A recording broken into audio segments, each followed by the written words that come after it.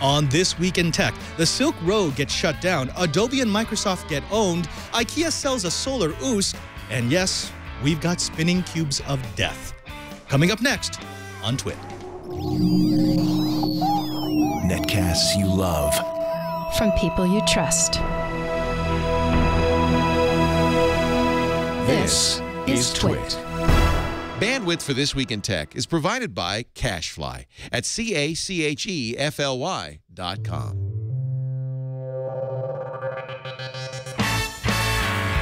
This is Twit, This Week in Tech, episode 426, recorded October 6, 2013. Solar Umlaut. This Week in Tech is brought to you by Audible.com. Sign up for the Platinum Plan and get two free books. Go to audible.com slash twit2. Follow Audible on Twitter, user ID audible underscore com. And by Shutterstock.com.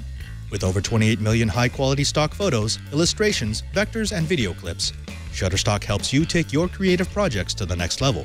For 25% off your new account, go to Shutterstock.com and use offer code TWIT1013.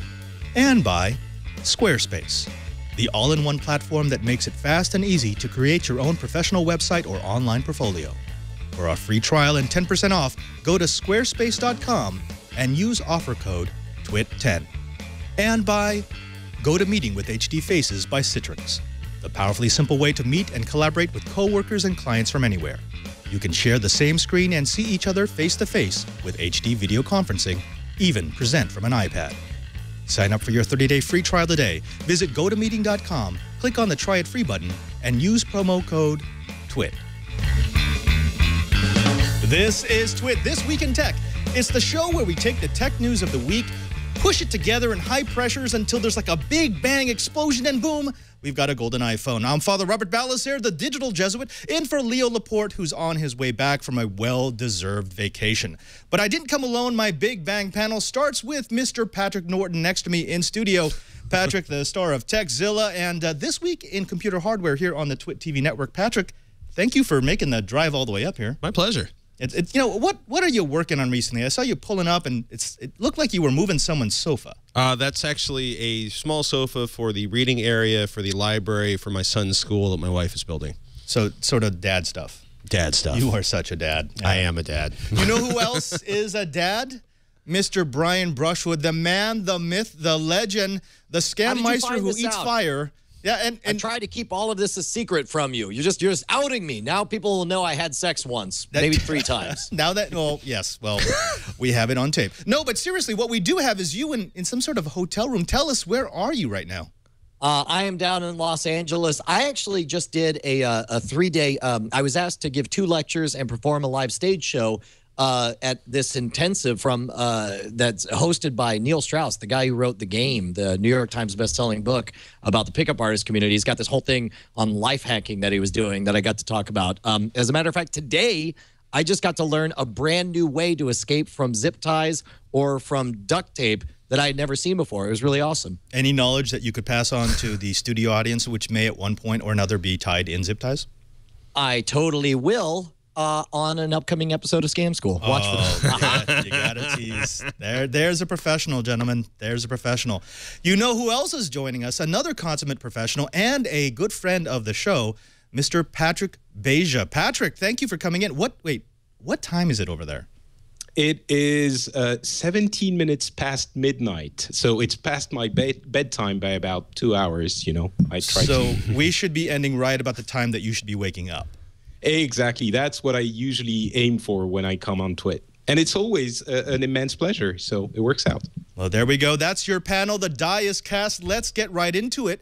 We've got, I think the, I, I think we can all agree, the biggest story of the past week was the busting of Silk Road. Now, this was a website in the in sort of the dark net, the gray, seedy area of the internet that you could only access through the Tor network. For those who don't know what the Tor network is, think of it as uh, well, an onion. That's what Tor is, the onion router that allows you to gain anonymity because as your packets pass from one router to the next, they only know the next router that they're going to. It's a it's a nice way to sort of guarantee that someone can't track back your actual IP address.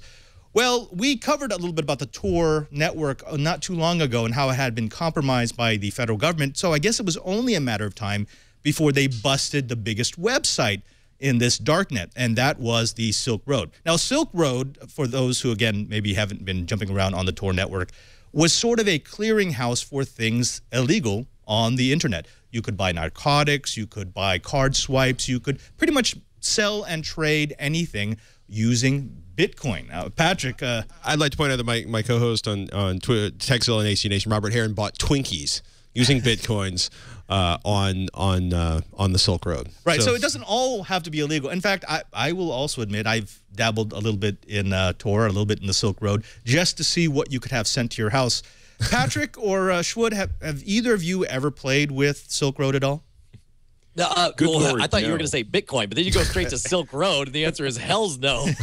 uh, but I'm fascinated. I'm fascinated by uh, like Silk Road sort of rose to prominence by by having a best practices for uh, anonymity to, to, protect mm-hmm. everyone. Mm-hmm. And uh, in many ways, the shutting down, and of course, there's horrific stuff on Silk Road. You know, everything from on, you know, from, you could buy pornography, you could contract killings, you could have drugs. Uh, uh, people were selling uh, fraudulent uh, uh, IDs uh, that they would ship over. Nobody's defending what was sold on Silk Road. But I wonder if one of the things that's happening is is there's a lot of talk about how the federal government was able to was able to take down Silk Road, and I wonder if all that's going to generate is another layer of best practices for underground transfer of materials. In many ways, uh, isn't us reading about the takedown of this just setting the stage for the next uh, thing to, to, to, to, take its place? Uh, not, not unlike the Dread Pirate Roberts itself. Right. Well, let, us let's, let's talk a little bit about that. Oh, oh sorry. First, Patrick. Uh, uh, you, oh, not Patrick. I'm sorry. We've got two Patricks on the show, so you have to be not Patrick. You wanted to say something? Yeah it's my Twitter handle. So yeah, fair enough.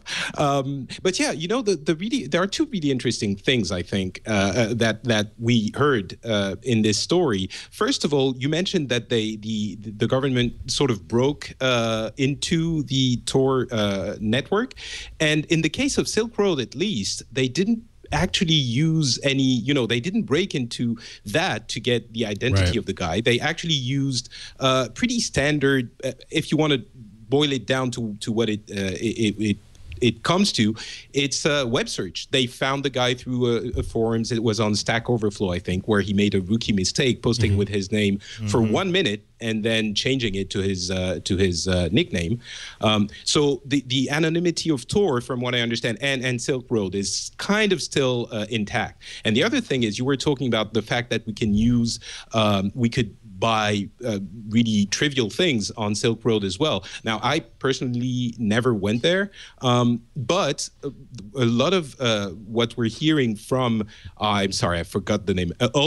Um, right, right, Ross. He, he, he has, uh, exactly, yeah. So he has some uh, ideological, uh, at least the excuses he's giving are somewhat ideological. He wants to create an anarchist experiment slash utopia with with this tool. Now, of course, there are things that contradict this this ideology in the way he acts, but from what he's saying, it isn't intrinsically uh, destined to be uh, uh, uh used by Ill- for illegal activities. Right. Um, I, I, think there's actually a really good comparison here between mm-hmm. Tor and torrents. Uh, by the way, the, the, two are not the same for anyone who might be wondering about that.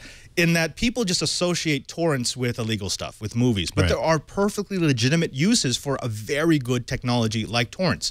Same thing goes for the Onion router, uh, for, for that anonymity network it could be used for many good things, protecting dissidents in countries that are monitoring the internet, uh, for making sure that your transactions aren't being monitored by a third party. Mm-hmm. In fact, you know, the, the same sort of security that's baked into Tor has been emulated by several right.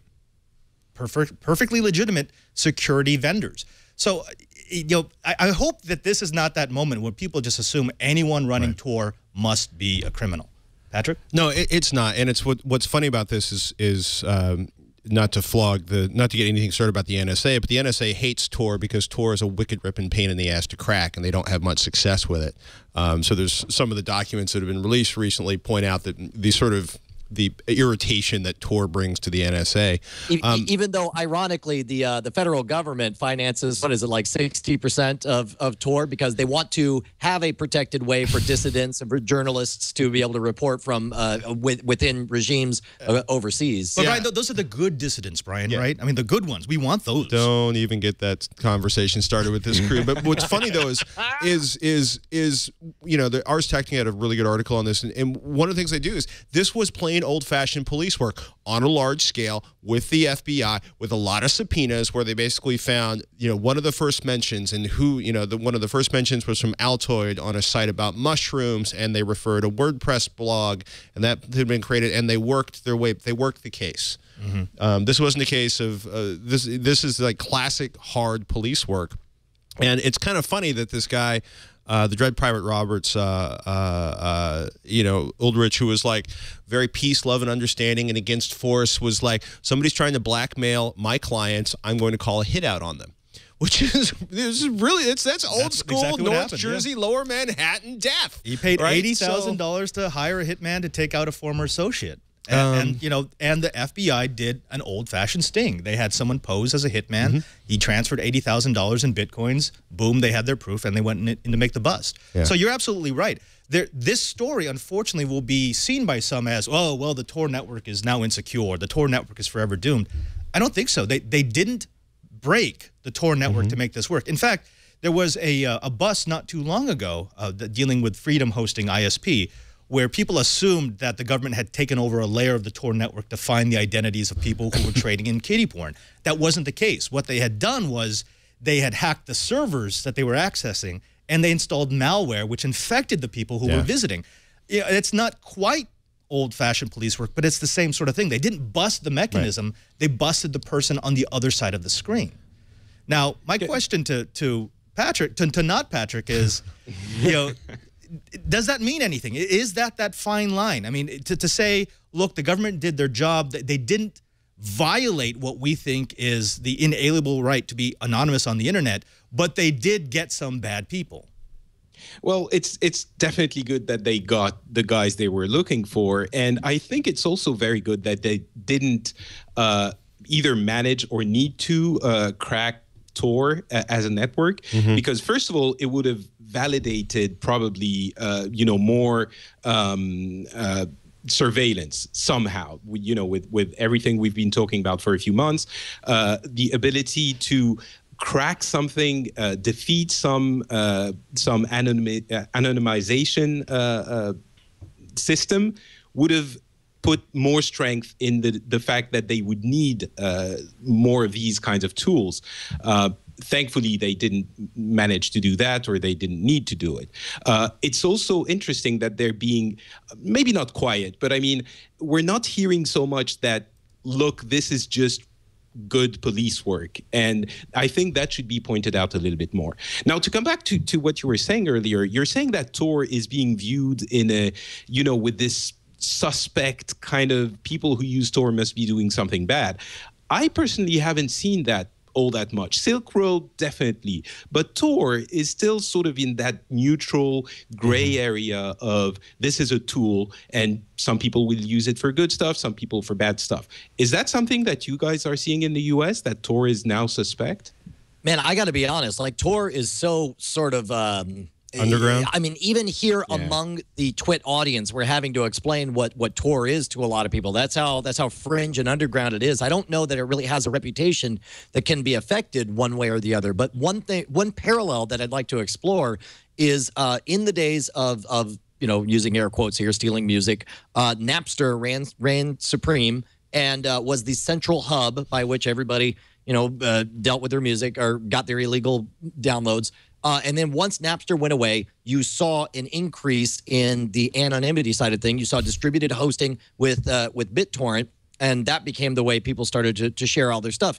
Uh, right now, if there's one person you don't want to be right now, it's a client of Silk Road because all the servers have been nabbed by the federal government. They they have all kinds of information that they're going to use to track down people, whether it's you know people offering fraudulent whatever's or drugs or whatever. Like all this crap is going to roll downhill. The head has been cut off for this beast, and now they're going to feast on the innards of all these lower level criminals.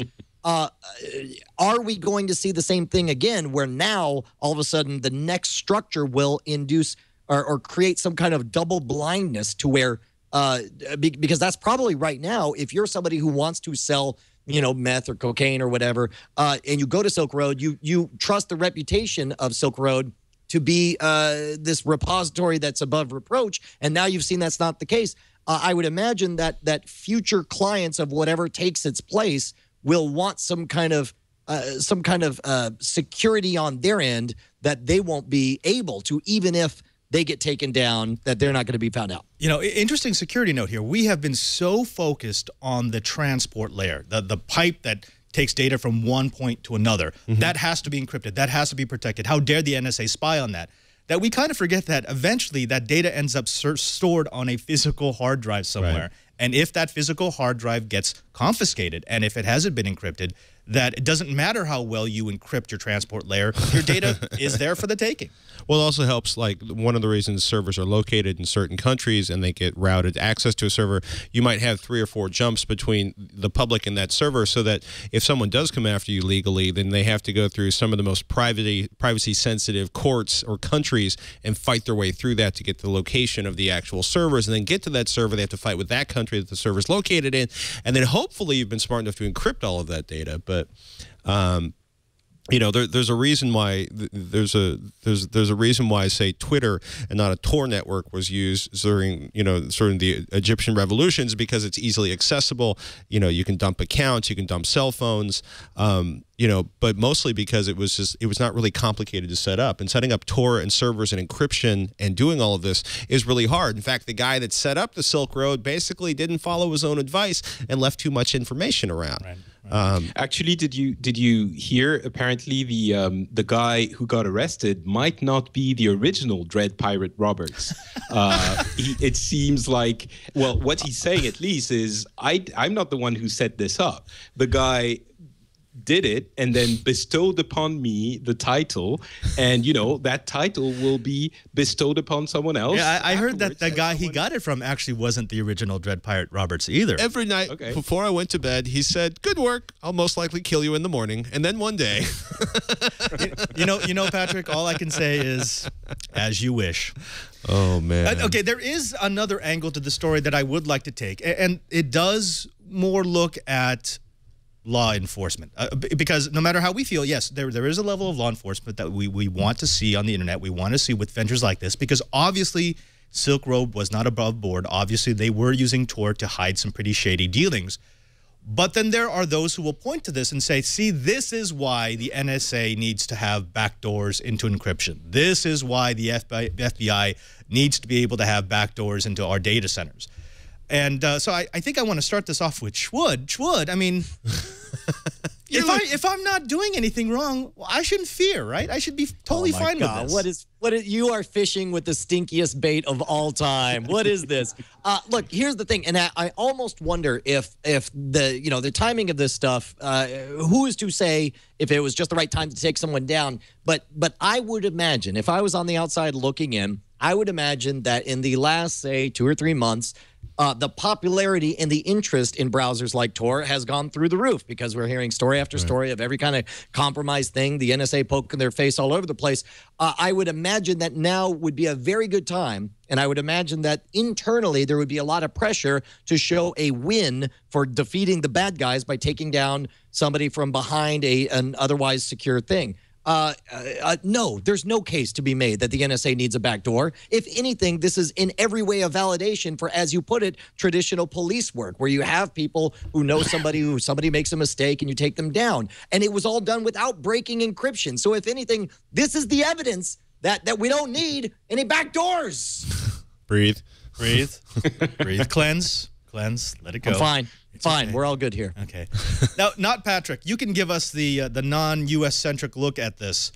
What do you think about a government agency coming to you as a citizen and saying, "Look, we, we need help. Old-fashioned police work isn't going to cut it in this century. We need a way to look at these supposedly secure communications, but we promise, we promise, we're only going to look at the bad guys."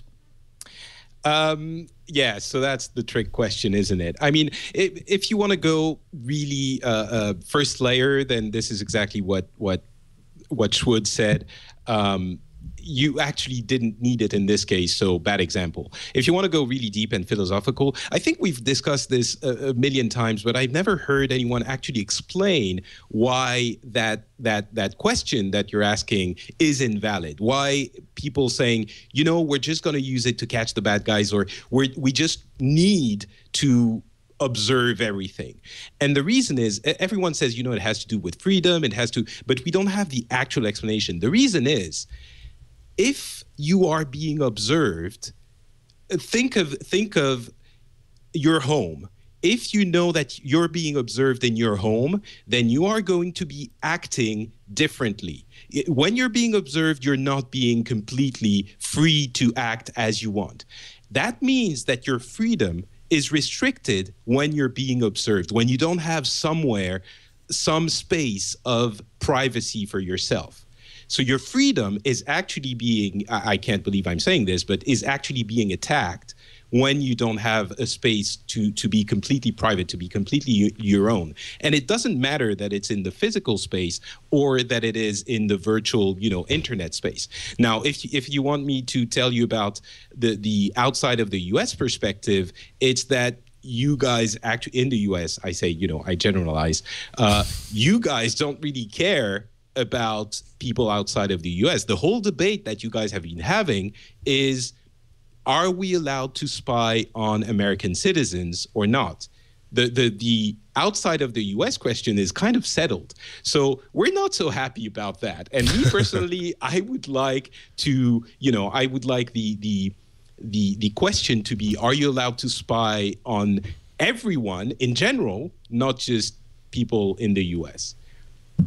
Oh, I, am sorry. I, I, wasn't listening, not Patrick, because you're not from the U.S. Uh, uh, what, what well, and, and keep in mind, like uh, uh Patrick Beja is 100 percent right. Like, like the the NSA was founded on the idea, like it, the whole thing that made my entire youth growing up, you know, we knew about the NSA. We knew they listened to phone calls, but it was always international phone calls. We had this this bizarre fig leaf that, like, as long as it was, it was always international them, phone call, it was us. the other and not us. Right? Correct.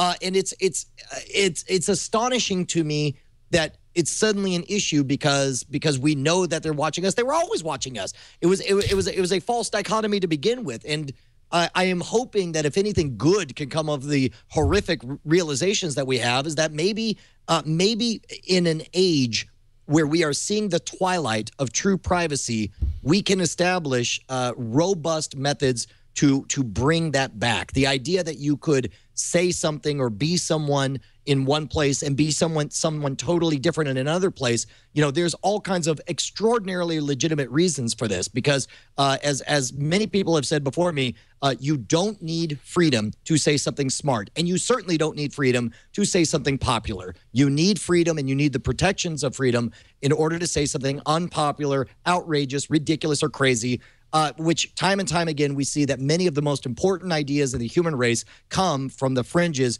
who say outrageous, stupid things from the outside. That wait, otherwise, wait, know, minute, they couldn't say in polite society. The twilight of true privacy. I, I, I got to ask, what makes you think we're heading towards that?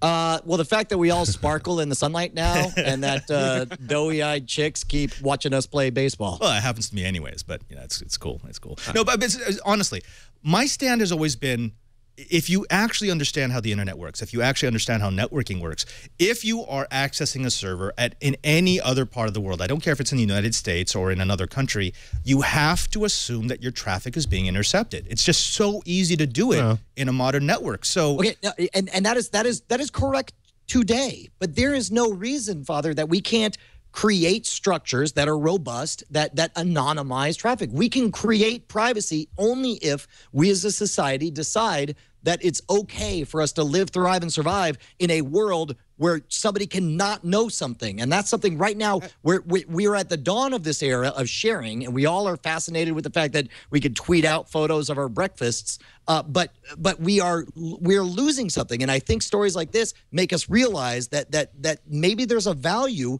to uh, to a segregation of different parts of our lives. These firewalls between our public and private lives, I think, is important and I'm hoping that that that we will decide as a society to create more structures that make that possible. Okay, let's let's go off the rails completely. There, there was a story this last week about how Google is trying to implement sort of a true authentication system. Mm -hmm. They want it tied to your Google Plus account when you're commenting on YouTube because their belief is if people have to use their real identities that we would reduce the, the amount of trolls. We would reduce the amount of online bullying.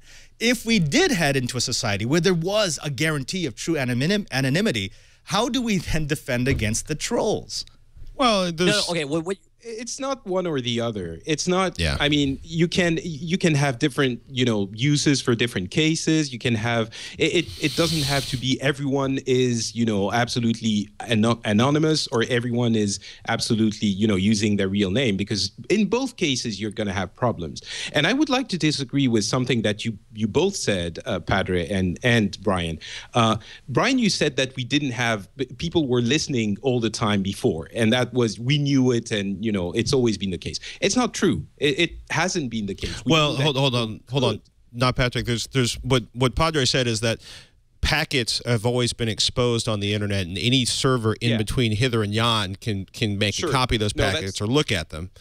That's the, what that's what what Brian was saying. Yeah. Uh, he was saying that you know the NSA would listen to you, and you know, but uh, what what what Padre said was anyone could be listening to you. I, I mean, at least that's I think what you mean. It's true that information on the internet is theoretically available to pretty much anyone. But there's a difference between that and the government looking at all of it. It's like yeah. you're walking down the street and you know that someone could be looking at you. But it's different. In every street in every city in the country is layered with cameras that are looking at you and analyzing what mm-hmm. you do all the time. I'm not saying, you know, one is better or the than the other, I have my opinion on this, but it's irrelevant here. I'm just saying it is a different thing, and you can't equate them both. Every, well, you know, all the information being available for anyone to potentially observe on the internet is different from the NSA having arrays of servers yeah. looking at and analyzing everything. And, and I, I completely agree with that. It's also amazing, like Bruce Schneier did a great article for The Guardian where he points out the NSA has inserted all these exploits into services. And it's like Snowden basically went out and said, yo, world, and and the United States went oh, and the rest of the world went oh God, and but what that means is that all of these services that thought they were relatively secure have found out in many cases there's just big old giant holes walking in, or have you know have basically have been publicly exposed that they were compelled to to do things that are kind of curious and and, and unpleasant. And what's interesting is is that you know, it undermines trust. There's obviously undermined trust in the U.S. Um, the fact that all of this information, I agree with with not Patrick, all this information being warehoused is incredibly creepy um, and incredibly unsettling. Especially, you know, all you got to do is go back to Nixon, who was tasking the FBI to dig up information on his enemies list, was like 600 or 800 people long, and targeting the FBI to generate information that could be used against his political enemies. This is scary stuff. This is like you know, for, you know, less than 40, 40 45 years ago in the United States. This is a big deal. And I don't want to take anything against the people that work at the NSA because I've met some of them. They seem to be fine people. And I would love for terrorism to be stopped. And I believe in signals intelligence. But at some point, it gets out of hand. You know, the, you know, so, all if, if, if, I can, let, let, let me move things back to uh, Padre SJ's question, which was uh, how does this tie in with the, the movement towards real identi- uh, identities on YouTube using Google Plus for the comments? Uh, in no way does that shift actually reveal true identities. Instead, what it does is it creates an environment where your reputation matters. If your reputation is this particular identity, you can have five different identities. You can have five different names, and you can create backstories for all of them and, and histories, and you can comment on each of them.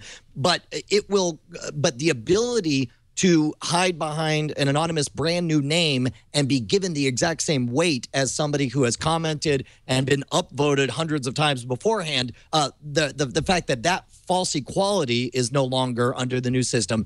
Uh, that is significant. You can still nobody will ever know who you are. You can live your life as a banker and then and and you know uh, leave comments as a as a you know a, a, transsexual prostitute or whatever. And but as long as you create that Brian, persistent have reality, you spying on me again. Sorry. okay, wait, wait. Uh, uh, we got to go to an ad, but before that, I do want to tackle one little addendum to this, and that is, if there could be a way to create an online identity that's completely anonymous. Let, let, it's it's a third party that we trust that ties it to your real name, so we can guarantee that you only have one of these. That is your online identity. It cannot be tracked back to you, but you have to now protect it. You can't just say ridiculous trollish stuff on the internet because that actually affects your reputation. Would that be acceptable to both the people who want accountability and the people who want privacy? Patrick. Well, it still won't interrupt the fact that some people are scum or some people have no filter or some people are just sacks of evil with keyboards and they will say nasty things even if we know who they are. The second thing is there will never be a third party or a first party that will be able to eliminate all people spoofing identities and creating fake identities on the internet, even right. Google. Right, right. The, the, the, solution is clearly uh, we can look to World of Warcraft because there are characters. There's there is uh, when I play an MMO, I have my favorite character who I, I want to to do best practices on to get farthest ahead possible. If I want to do something stupid, I make a brand new level one character and then do something stupid because that's a disposable character what the level one character does has a smaller impact in that world than what the level 60 character does. And likewise, that's the way it should be with comments. in comments, a, a brand new account with no backstory should have a lower ability to impact the world around them with what he has to say, unless unless what he has to say is voted up, uh, you know, Reddit style and makes an impact on the community by the sheer merit of what it has to say. But the ability to, to, to fling poo at a wall should not be equal to to a real verified ID versus a brand new made one, and this is their first comment. You know, only it's, if we had someone who worked for Blizzard. no comment. Absolutely no comment on that. Okay. Uh, however, I will say I will say two things. First of all, it's very surprising that uh, it took so long. Actually, the surprising thing is that it took so long for Google to implement that in YouTube. It's been an issue for a long time, uh, and I, I think that the normal situation is that the, the the the comments are a little bit more tied to an identity, uh, you know, than it currently is.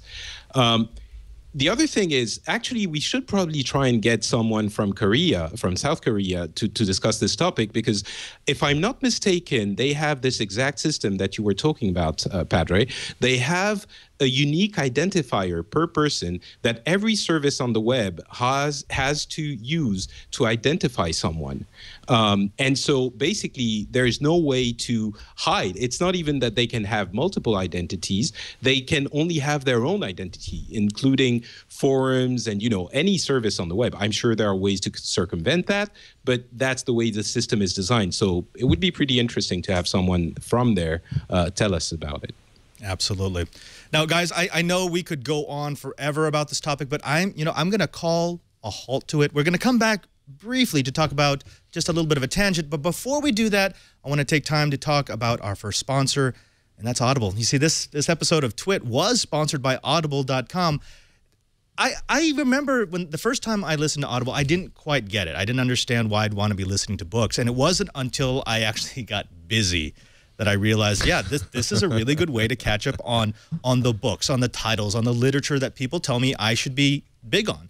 Just this last week, I was on my way over to New York. I knew I had a five-hour flight. I knew it was going to be a red eye. I, I, I don't sleep on planes all that well. So I called back an old faithful favorite and uh, listened to it in audio form. I had, had already read it, but I listened to Ready Player One. Have, have you read that book? I have read that book. I, I, it's one of those books I desperately want turned into a movie. uh, and it's, it's, it was actually narrated by Wil Wheaton, which was a wonderful thing because I'm hearing Wil Wheaton in my head and I'm picturing everything that's going on in the book, and suddenly the Starship Enterprise shows up. No, no, that didn't happen. But it is a really good way to catch up on those books that you've always wanted to read, but you just didn't have the time for it. Now, you see, for those who want to give Audible a try, we have a wonderful chance here at Twit to, to, to give you the gift of reading. You see, you could sign up for their platinum plan using our code, and that gives you two free audiobooks to try out and two book credits per month. That comes every month. You choose your books, you load them up, and you listen to them when you can during your commute, during your jog, during your walk, during your private times in the office or at home. It's a great deal for people who enjoy listening to audio programming. And as with other plans, you also get a free subscription to the Wall Street Journal or the New York Times daily audio programs. That's all included in your Platinum subscription. Now, you know, for more details and to get two free audiobooks about their Platinum offer, I'd like you to go to audible.com slash twit2. That's audible.com slash twit, the number two, and see if maybe Audible might be the thing that you're missing in your literary life. That's audible.com slash twit two. And we thank Audible for their support of This Week in Tech. Slightly a different story, but still kind of connected to Silk Road is all about Bitcoin. Bitcoin has been in the news recently, and never more so than when they busted Silk Road and realized that they just took a big chunk of the Bitcoins available in the world out of circulation. Now let's let's have a little bit of a historical uh, uh love fest about Bitcoin. It was first introduced for trading on December 30th, 2010. They started trading at about 30 cents per Bitcoin, and not not all that promising. Now, the Dread Pirate Roberts posted about Bitcoin on his blog on January 27, 2011, and just a few days later, Bitcoin was at parity with the US dollar. So there is a tie-in between Silk Road and Bitcoin. It was really one of the first places that showed people that there was a market for Bitcoins and there was a place to use it. Now, on June 7th of this year, Bitcoin hit $30 per Bitcoin. Uh, remember that there was that big chunk of news during the cycle where people were trying to farm Bitcoins because they had become the new market. And mm -hmm. especially when the dollar was weak, it was it seemed like a, good investment. Uh, with the with the uh, takedown of Silk Road, we saw Bitcoin value kind of plummet a little bit and, and, and recover slightly. But all of this points to Bitcoin actually being a real currency. It's acting like a currency should act, right? I mean, this is what you would expect from a currency that's not make-believe, that's not just right. there, but re it reacts to world conditions, it reacts to the demand for the currency. Does, does this, the busting of Silk Road, verify that, yes, Bitcoin is a real currency that should, that will continue? Well, the FBI is... So, oop, oh, Patrick first. Oh, I was, I was, uh, yo, go ahead, Patrick.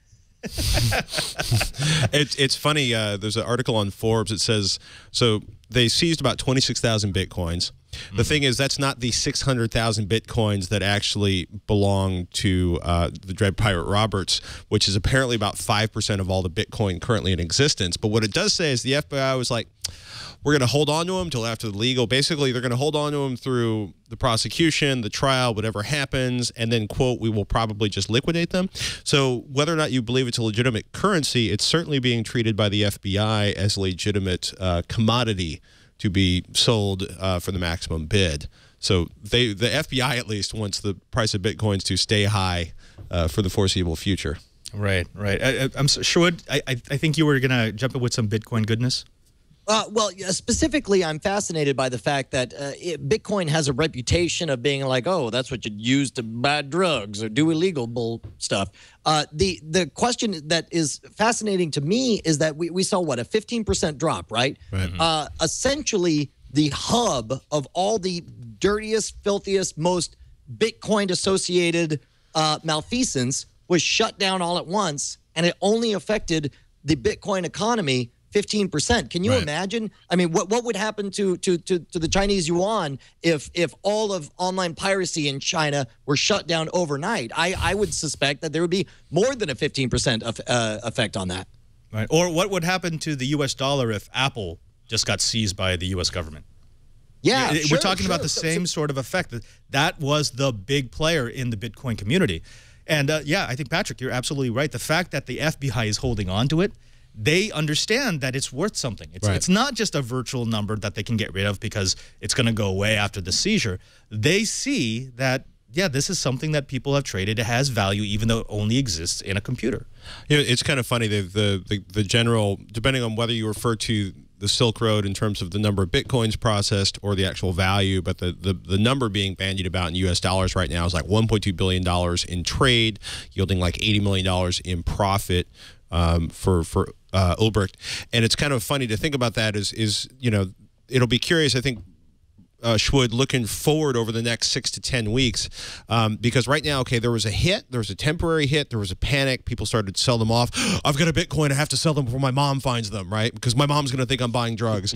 um, but what's kind of interesting is like what's going to happen at this point is will there be an ongoing market, right? Because 5% of the Bitcoins on the planet uh, you know, it, the FBI is trying to find that wallet. Once the FBI finds that wallet, they own like one in every 20 bitcoins. But that still means the vast majority of bitcoins were circulating back and forth, right? Doing what currency is supposed to do in a healthy economy. So the $64,000 question is will the value of those continue to rise uh, because there are other avenues for exchange for the bitcoins, or will it turn out to, that this was like where all of the bitcoins were traveling? There's a, Does that make sense? Because I can't speak economist I- without I sounding it. like an idiot. I got it. But there, there's um, also a story attached to that, and that is there are many users of Silk Road who are now complaining that, well, they're out. They're out tremendous sums of money because the way that it works is you have to deposit your bitcoins, well, it, the way it used to work, into Silk Road, and then you could actually make a transaction. You could make that trade. You could make that buy. You could make a sale. And there are people who are saying, wait a minute, wait a minute. I had $10,000 in bitcoins in Silk Road. I, you can't prove I did anything illegal. How could you just take that away from me? Well, it depends on. Uh, I- I'm sure. I mean, I mean, look, like it's know, it's like you, you you bought you bought credits. You bought credits in a fantasy world where you'd get drugs and pedophile files, and now those credits are gone. They were gone the moment you spent it, and the fact that the company shut down before you got a chance to spend them. Look, man, if World of Warcraft went away, I'm sorry, not Patrick. Uh, I wouldn't say I bought all this gold and where's my value. I'd understand that the company's gone.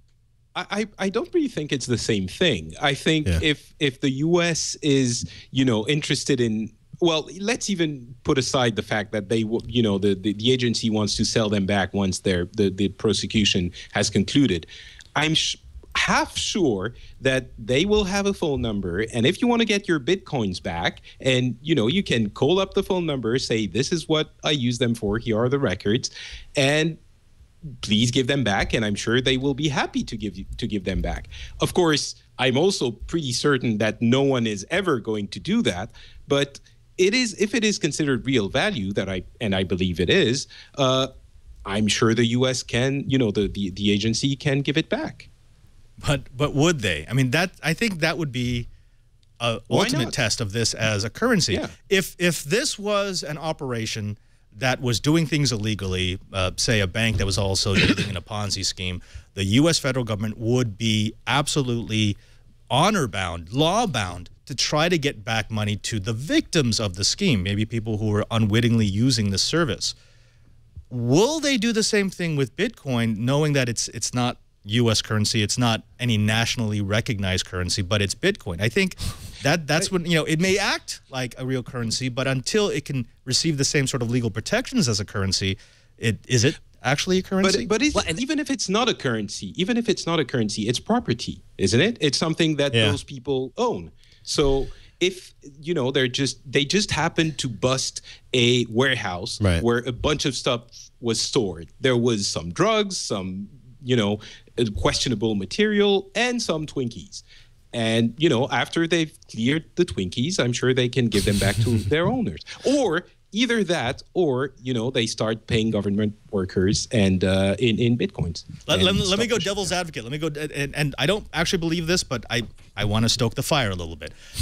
Is it actual property? It's it's it's entirely Yes. virtual. When we think of cash, and the reason why we th- we can move around numbers on a computer and think that yes, that's my cash, is because it actually has its root in a physical object. Bitcoin has no roots in a physical object. They Neither- turned it into a physical object. But but the entire stock market is a is a is a is a is a hallucination. Checks. I write a check to you. That's an agreement. That's an honor bound thing. That's not a physical object. It's a promise to pay. Right. The, the money in your pocket is a consensual hallucination. Bitcoin ticker available on Bloomberg terminal for employees. Right. XBT. If Bloomberg's recognizing it, if a federal judge has ruled that Bitcoin is real money, um, you know, then it is a means of of of exchange and a means of trade. The thing is, is is like not Patrick was saying. Look, if I stored my boat, you know, at you know. Abel Baker Charlie storage facility, and it turned out that Baker was making meth with Charlie, and Abel was selling it, and the entire thing had the FBI swoop down on it and roll everybody up, and all of the stuff would be locked up for X amount of time, you know, and then eventually at some point they would say, "Hey, if you stored your boat here, let us know. We'll let you get your boat back," and I go through the process to to get my boat back. What what I'm waiting for in this story is some you know nice young man or woman is going to be like, "I want my bitcoins back," and they're not going to think about the fact that they want their bitcoins back, but now the federal government now has the entire list of trades they did where they were shipping, you know, meth or shrooms or weed or whatever they were selling that was not a a, a legal thing. And at some point, there's going to be this rush of stories where stoned idiots ask the FBI to give them back the money they made for selling shrooms. Right? It's sad, Well- but it's going to happen. Yeah, of course. That's that's why I was saying, you know, probably no one is going to actually go in and request their bitcoins. But th- there's also another thing. It, you were pointing out, Patrick, that that they want to sell them at the end, mm-hmm. and they can't both say that it's not real and we can't give it back to you, and then turn around and sell them. It's one or the other. I love that. And okay. I think they want That's- to and sell also the also like right? like like the discussion the discussion started uh, moments ago with with saying like the government is treating bitcoins like real money uh, it doesn't seem and i don't know how much of this is you know one hand not knowing what the other one's up to but if the government treats bitcoins as real currency then you have enormous tax implications and then uh, and if bitcoins are real money then why isn't world of warcraft gold real money there's a there's an actual exchange and and at this point like at what point do does somebody go to jail for stealing a sword with a Ponzi scheme in game? You know, you, on the flip side, you have stuff like Eve Online. It has a game structure where people perform real fraudulent activities against other people that defraud them of real value uh, ISK in the game, but it's shrugged off as being part of the game experience. Uh, what is the difference between Bitcoin and ISK? They both have exchange rates. They're both manipulated. They're both traded. Uh, who is to say is the U.S. government the one in charge of deciding Nobody's. what's a real currency? Nobody's, nobody, least of all me, is saying the U.S. government is in charge of deciding what's real or legitimate security.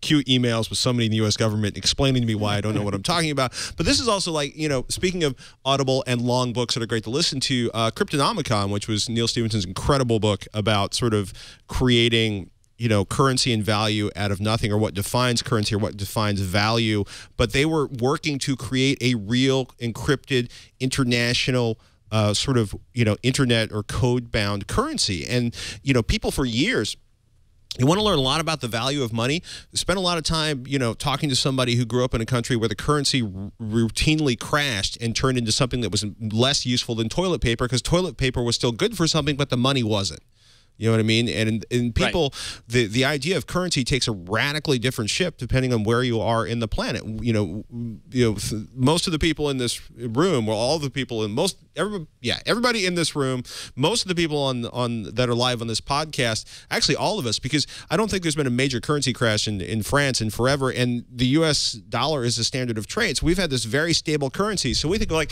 money is the thing in the bank, and it's always good. And if I have a dollar, it's good for something. Talk to somebody who grew up in a country where a dollar suddenly became like you know a quarter of a cent or something even less useful that and then other means of exchange become standard. You know dollars are a consensual hallucination. We all agree that this piece of paper with green ink on it or multicolored ink on it now since we're fancy and have multicolored money like other countries now is something that everybody agreed upon. And then everybody agreed that we could use checks and everybody agreed that this weird piece of plastic with a number and I make a phone call and then it gets automated is a way for money to be exchanged or value to be exchanged. We are talking about exchanging value. It's complicated and it's mystical and it's all about the majority of the people or a minority of the people who are important in the scheme buying into it. Um, Well, and and and I guess that's that's in one regard, uh, Bitcoin is infinitely superior to all other forms of currency that come before it, and that structurally it encourages uh, forced scarcity. That the the more players you get in the market, the more manipulation you try to have. Um, like the very act of trying to mine bitcoins only makes existing bitcoins more secure. Uh, and that is astonishing to me. And I, I certainly hope that that whatever happens with the Silk Road story, I hope that that the story of bitcoins is not shut down or or affected negatively. Yeah, because I, mean- think that there's tremendous potential. it's also funny that like you know so the original stock market was basically built around people exchanging you know subunits of stocks or, or shares of the Dutch East India Company and the idea that there were like little subunits of the Dutch East India Company which is a sign that I've been reading Neal Stephenson again but you know what I mean like this is this is all this has been happening for like 600 years man. We're all just back there again or 400 years. Math is hard. But it's it's a, it's a problem that's been solved before. It's a problem that will rise again. And yeah I'm with you. I'm going to be really curious to see what happens to Bitcoin and if it can become a legitimate means of exchange. And how you know what does a sub Bitcoin turn into? And how do I buy you know something that costs two dollars worth of Bitcoin when a Bitcoin is worth 132 dollars? Because you know 500 years ago you would cut you know your your your your your your your Spanish doubloon or whatever the hell it was into small pieces into bits. Sure. Um, You know, they're mentioning now in the chat room that we've spent almost an hour talking about Bitcoin-related stories And Uh, drugs. and drugs, and So and, I, and and Hitman. I think that's actually a that's a good, that's a good show. Yeah, Hitman, drugs, and and bitcoins. But I, I do want to throw one more thing at you, just because I don't think any of you have yet gone on the complete rant. And that is, there are people in the chat room, and thank you very much, Brian, for bringing up the idea of, of ISK, you know, in-game currency, and the Bitcoin. The one defense that people seem to use most often when trying to separate the US dollar versus Bitcoin or the franc from Bitcoin, the euro from Bitcoin, whatever it might be, is but the Bitcoin and in game currency is made up. It's pretend money. It doesn't actually mean anything. And, and when you come down to it, that's really the only argument you can use against a currency like Bitcoin or like in game currency. Work has gone in to create it, work has gone in to trade it, work has gone in, which means it should be worth something. And so we're just saying there's a difference between real in world currency and digital currency. I, I say there is none and there should be none. And I believe digital currency, I believe Bitcoin is probably, uh, if, if Bitcoin can weather this storm, this reputation storm with Silk Road, then Bitcoin truly is the future. And it's like uh, the, the fact that it's got a structure where the more people try to get it for free, the more people try to manipulate it, the better and more secure it becomes, then, then that's, that's a future I could live with. Patrick, are you going to, oh, sorry, not Patrick, are you going to trade in your euros for Bitcoins? I know, but I really, really, really wish I had purchased a few bitcoins a few years ago. Okay. And uh, Patrick, are you going to be buying any of those physical Bitcoins you can actually 3D print? Not at this stage. No. I do believe it's here to stay, though. I mean, uh, anecdotally, I've seen a few, you know, uh, developers and and uh, web designers accepting bitcoins, and it, it doesn't seem like we've been attacked. Well, not we, but a lot of people have been attacking it and trying to find flaws and trying to see why it wouldn't work. It doesn't seem to be not working. Um, after three years, and after that that uh, issue with Silk Road, it is still around. Uh, and as Patrick was saying, is it's if it's still around in, in six weeks, it, I don't really see how it could go away unless something really unexpected and really catastrophic uh, happens. So maybe I should trade in some euros for bitcoins. I don't know now. I'm confused. I think I'm confused could be the episode title. Now, uh, you know, we're gonna we're gonna come It back. could be every episode title. Come on, face it, man. well, I mean, if we're not confused, we're not doing our jobs. I think that's that's what it comes down to, really. But you know what's not confusing, Brian? what? Shutterstock. Name one thing, Padre. Name one thing that's not confusing this whole beguiling world. I'm confused by everything. Shutterstock. Oh, no, you're right. Because the problem is, like, like oftentimes when I want to make something on a website or maybe some kind of uh, video, like I always think I have to go out and shoot stuff myself. Turns out that's not the case. I went around. I flew to Singapore once to take a picture of a Singaporean dollar. Turned out that was a lot of money wasted. I could have just gone to Shutterstock.com, typed in Singaporean dollar, which I don't think is what they call it, but pretty uh, sure and then not. use that photo. Would have had the rights in perpetuity as part of my license because they got pretty much everything at Shutterstock. They do. Let me tell you, at Shutterstock.com, you will find the perfect image or video for your next creative project. And whether it's for your website, a publication, and advertising, a video, or any other type of project, Shutterstock most likely has it in their inventory of over 28 million high-quality stock photos, illustrations, vectors, and video clips. You see, Shutterstock sources images from around the world and then they put it at your fingertips. Many contributors to Shutterstock are professional photographers and artists, and Shutterstock reviews each image individually for content and quality before adding it to its library. Shutterstock adds 20,000 images every day. So every time you visit, you will find something new. That means that every time you're doing a project, you could come back over and over again, and maybe, just maybe, they'll find that perfect picture, that perfect video, that perfect setup for your next project. Shutterstock also offers flexible pricing. You can choose individual image packs or a monthly subscription for the best deal. You can download 25 images a day with any standard subscription. And you can download any image in any size and only pay once. Shutterstock gives you the images that you need to bring your creative product projects to the next level. And they make it easy because Shutterstock has sophisticated search tools that let you search and drill down by subject, color, file type, gender, emotion, and more. It's not just one big potpourri of images and media. Wait a minute, wait a minute, wait a minute, wait a minute. It sounded like you said emotion. Are you saying like there's a difference between searching robot or sad robot? That's that's what I'm telling. I'm telling you right now. You you can search for just a sad robot and only find robots, only images that really emote that sadness. That's the kind of sophistication that's look. There you go. That's the kind of sophistication that Those Shutterstock has. Sad robots. Sad robots. That's a lot of sad That is robots. a lot of sad robots. Why isn't Max Trollbot in there? Now let's let's continue. Let's continue. But but you know what? You know what else, Brian? No, yeah, that, that was a question. dude, I like I like this fail robot right there. He's did. just hanging his head in shame. You can't Isn't that Keanu Reeves robot? oh no. oh, but you know, aside from sad robots, Sh- Shutterstock also has shareable light boxes that lets you save images to a lightbox gallery and then access them anytime and share them with other team members. Anyone who's ever done a creative project with more than one person knows how important this is to be able to shoot someone over to somebody else and say, "Hey, is this what we're looking for? Is this the sad robot that we need? Are these the droids we're looking for?" And they have an award winning iPad app. You get to search on the go and it uses it to display images during presentations, which means that you can call it up and make it your perfect presentation toolkit. Shutterstock is also a global marketplace. They have a multilingual customer service in more than a dozen international countries and full time customer support throughout the week. Today, I found a few interesting images on Shutterstock, which uh, Brian helped me to bring out. That sad robot is just, you know, it's it's something that I've been thinking about for a while, doing some sort of creative project that involves robots with emotions, because you know that's that's well, unique in sci-fi.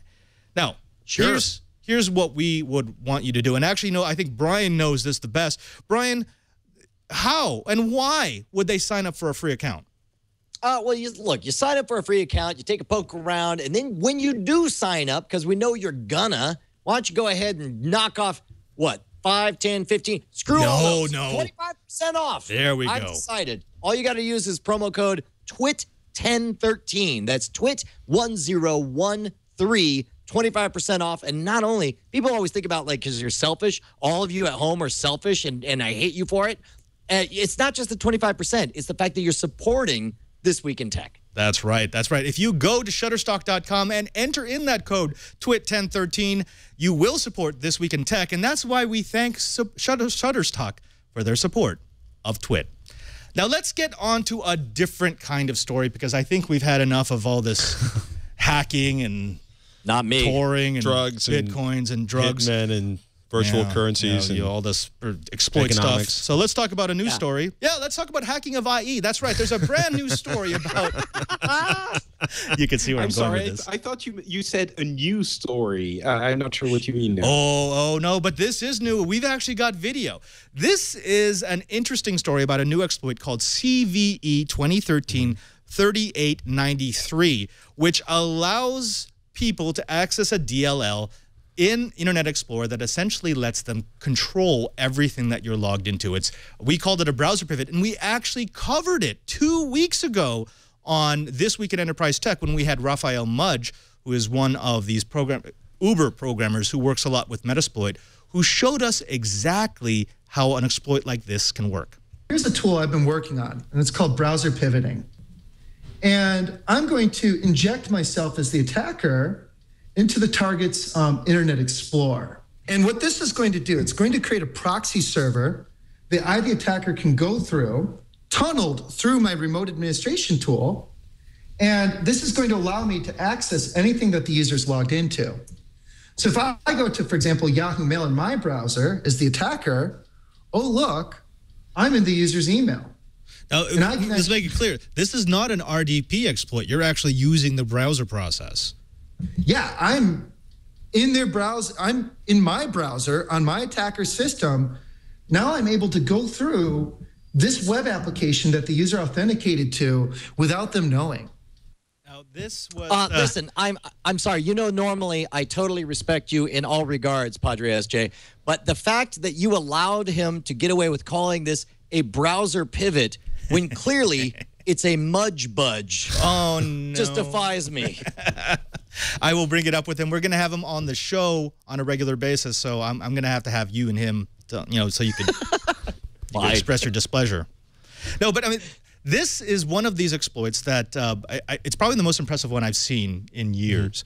Uh, and he was literally able to do this as we were on the show. He, he ran Metasploit. He was able to find the vulnerability, insert himself, and start surfing as the user. Now, this isn't this is one of these exploits that sends information back to a computer. It doesn't report to a botnet. It actually lets an attacker access any site on your browser that you're logged into as you. I mean, think about how many times you go to a website and it knows who you are, Mm-hmm. or you, uh, your email server, it's already logged in. Your financial information, your your username and password have been stored so that you don't have to remember it each and every single time. They get access to that if they browser pivot on you. But so, what do they need to actually do this, perform this exploit? Do they need your IP address? They need you to run do they internet- Target you. they need to run you need to run internet explorer and go to a website and they run their that and Oh, that okay. loads their javascript onto your system Right. and then all So- hell so breaks if, loose If you go, if you go to the uh, to the offending website to one of the yeah, okay, I get it. Oh, but Yeah, see, it's th- terrifying. This I'm- this is I'm- not this is not one of these exploits where you have to visit a site to, to download the malware onto your computer. Um, oh no, sure. yeah. It's yeah. It's it. Yeah. Okay. And yeah. so it's built into the It's- Metasploit framework now, which means that anyone with a finger, well, no, let me, to use Metasploit properly does take a little bit of skill. It's not a total script kiddie tool.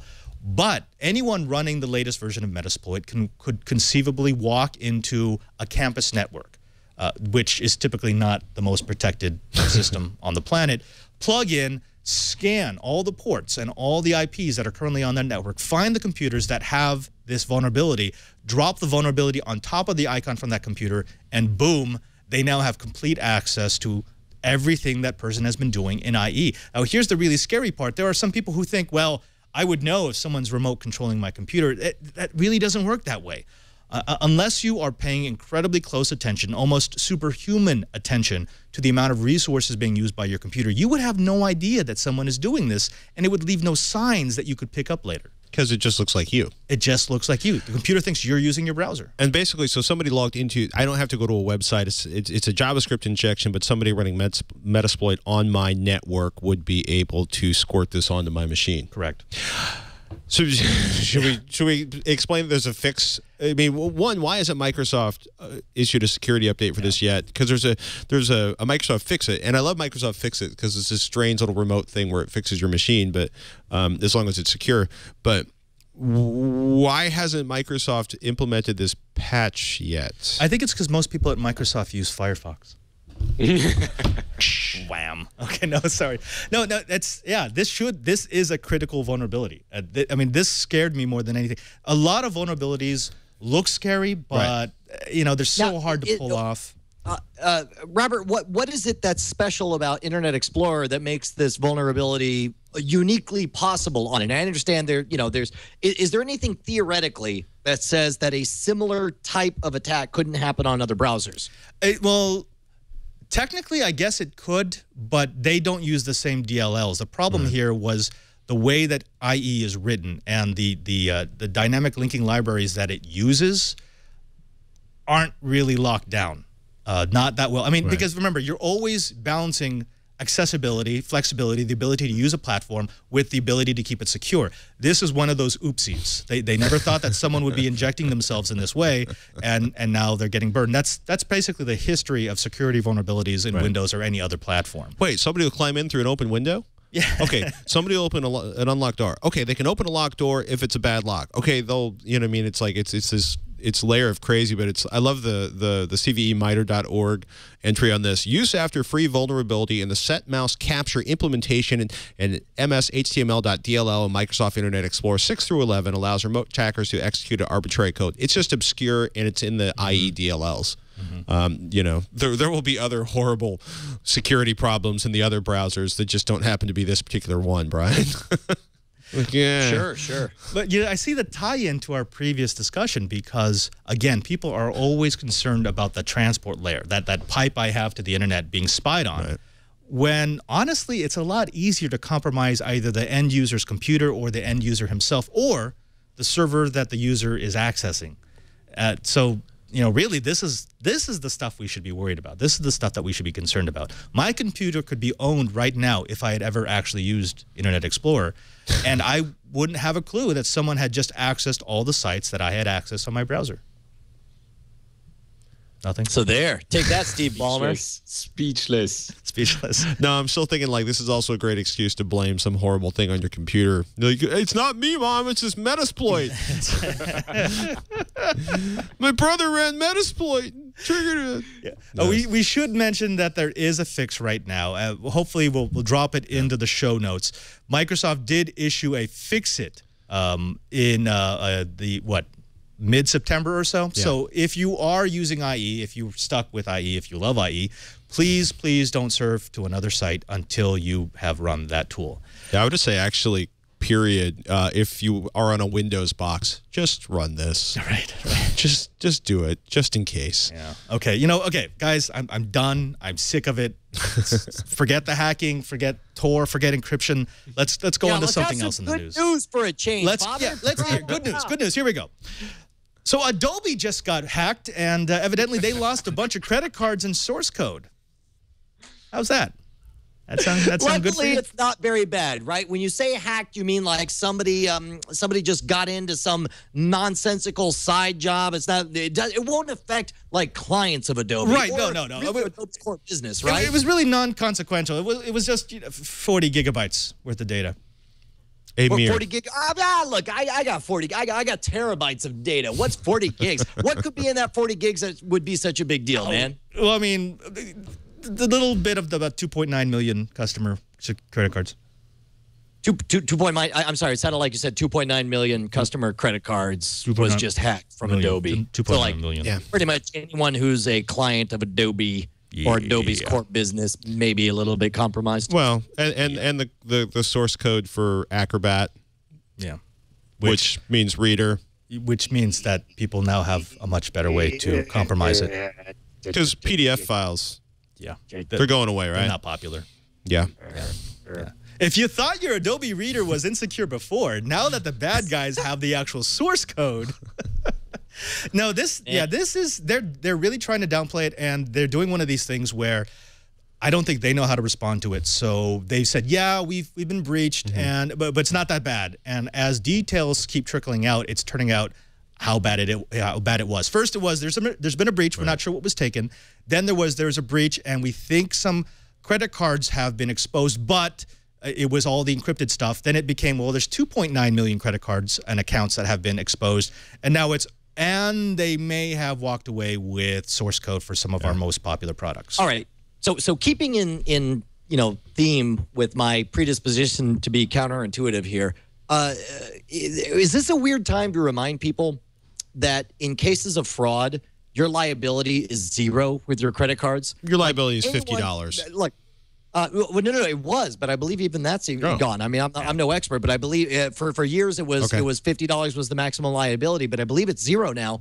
Uh, but essentially, your liability is zero, and and there it's easy and fun for us to say, you know, oh look, you know, I'd hate to be one of those credit cards or whatever. But the truth is, if you look at your bill, uh, I I got signed up once for a nine dollar free trial for some, you know, uh, Acai Berry crap or whatever, and I I went ballistic. Changed my credit card number, called and got it rejected on there. It's it's astonishingly easy to deal with fraud in this digital age, age Wow. as long as you pay attention to your bill. And and the penalties are astonishingly low if somebody tries to be fraudulent with it.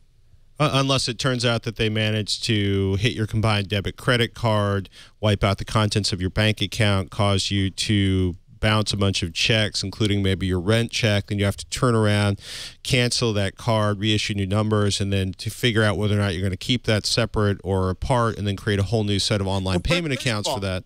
First of all, that's why I don't do I don't do debit debit cards. I want somebody else to control the money.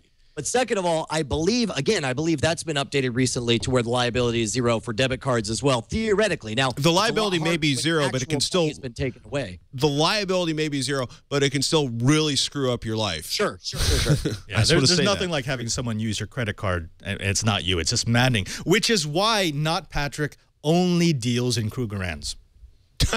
Uh, in Bitcoin, Bitcoins. actually, I was lying before. Um, but uh, no, I mean, I'm I'm with Brian. I mean, it's it's obviously a big deal. I think the the bigger deal might be the source code for Yes. for you know uh, all the PDF tools we use could be potential time bombs now. Um, so that's, I think, a bigger deal than the credit card. Obviously, it's a problem, but uh, the, the the credit card thing, the, the liability, yes, uh, it, you could be in a situation where your account is emptied and then your your checks bounce, and that's that's absolutely true. But overall, it's it's something that we kind of it's an inconvenience that we agree everyone collectively as a society to live with in order to get the convenience of having a credit card or a debit card. Um, the source code issues uh, might be something that are actually making uh, the whole environment a lot less safe. Right. See, that's the thing for me. Credit cards are one thing, and it makes for right. a good story. You can always say, "Oh, it's 15 million credit cards," and it sounds like it's ba- it's a bad thing. But honestly, that system pretty much polices itself. If, right. if you've got right. a lot of credit card breaches, the the the end user, you, you're not going to be financially affected all that much, even though it can be a major annoyance, inconvenience, so on and so forth. I don't want right. to minimize that. The, the, the source code part of this story is what scares me because imagine this. Imagine how many times we've heard of a vulnerability with Adobe, with uh, Adobe Reader, with, with Adobe products. Now, the way that vulnerabilities were exposed was they kept hammering at the executables. They kept hammering at the services until they found holes, and then they would exploit those holes. They don't have to do that anymore. if they have the source code, they can actually go line by line and find out from inside where right. the weaknesses are going to be, which means they can find weaknesses that they would never have been able to find just by hammering on the executables. This this is actually horrible. I mean, imagine how yeah. much of the world depends on Adobe products, specifically on Adobe Reader. Now, imagine what would happen if all those computers were suddenly owned. Let's go back to the exploit. Let's say that now that, that same exploit works in Firefox. It works in Chrome. It works just you sitting at your desktop. That's the kind of access that we're talking about if someone yeah. actually has the source code of software you're running on your system. It's also, I mean, it's pretty brutal. Like, okay, 2.9 million customer credit cards, those were encrypted you know, assuming it's quality encryption, that data is probably pretty safe. But it's crazy, right? Because this appears to be a group of hackers um, um, that have broken into LexisNexis, Dun & Bradstreet, a whole bunch of other interesting places, and that what what happened was uh, I'm, I'm, reading Krebs on security. Alex, Alex Holden, CSI, CISO of Hold Security LLC, discovered a massive 40 gigabyte source code trove stashed on a server used by these these cyber criminals. And what's interesting is not so much that they had the source code, but they cracked into the credit card, uh, the credit card servers, and then used that to get access to the rest of Adobe system. So there's some really bad lack of firewall going on there, or some really sophisticated hacking.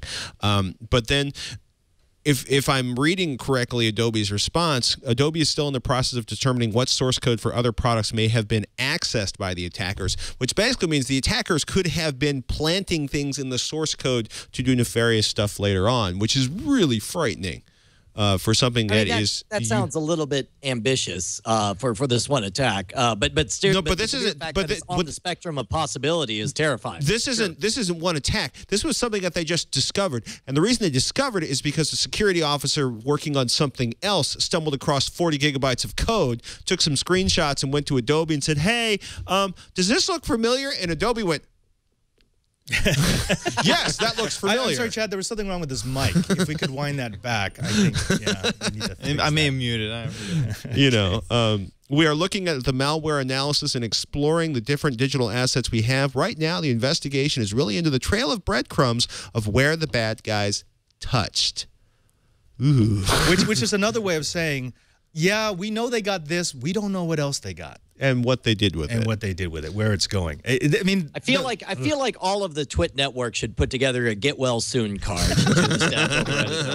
We could just have the whole internet sign it and send it over. I smell an nsfw episode. We just you know what adobe we know you've been feeling under the weather.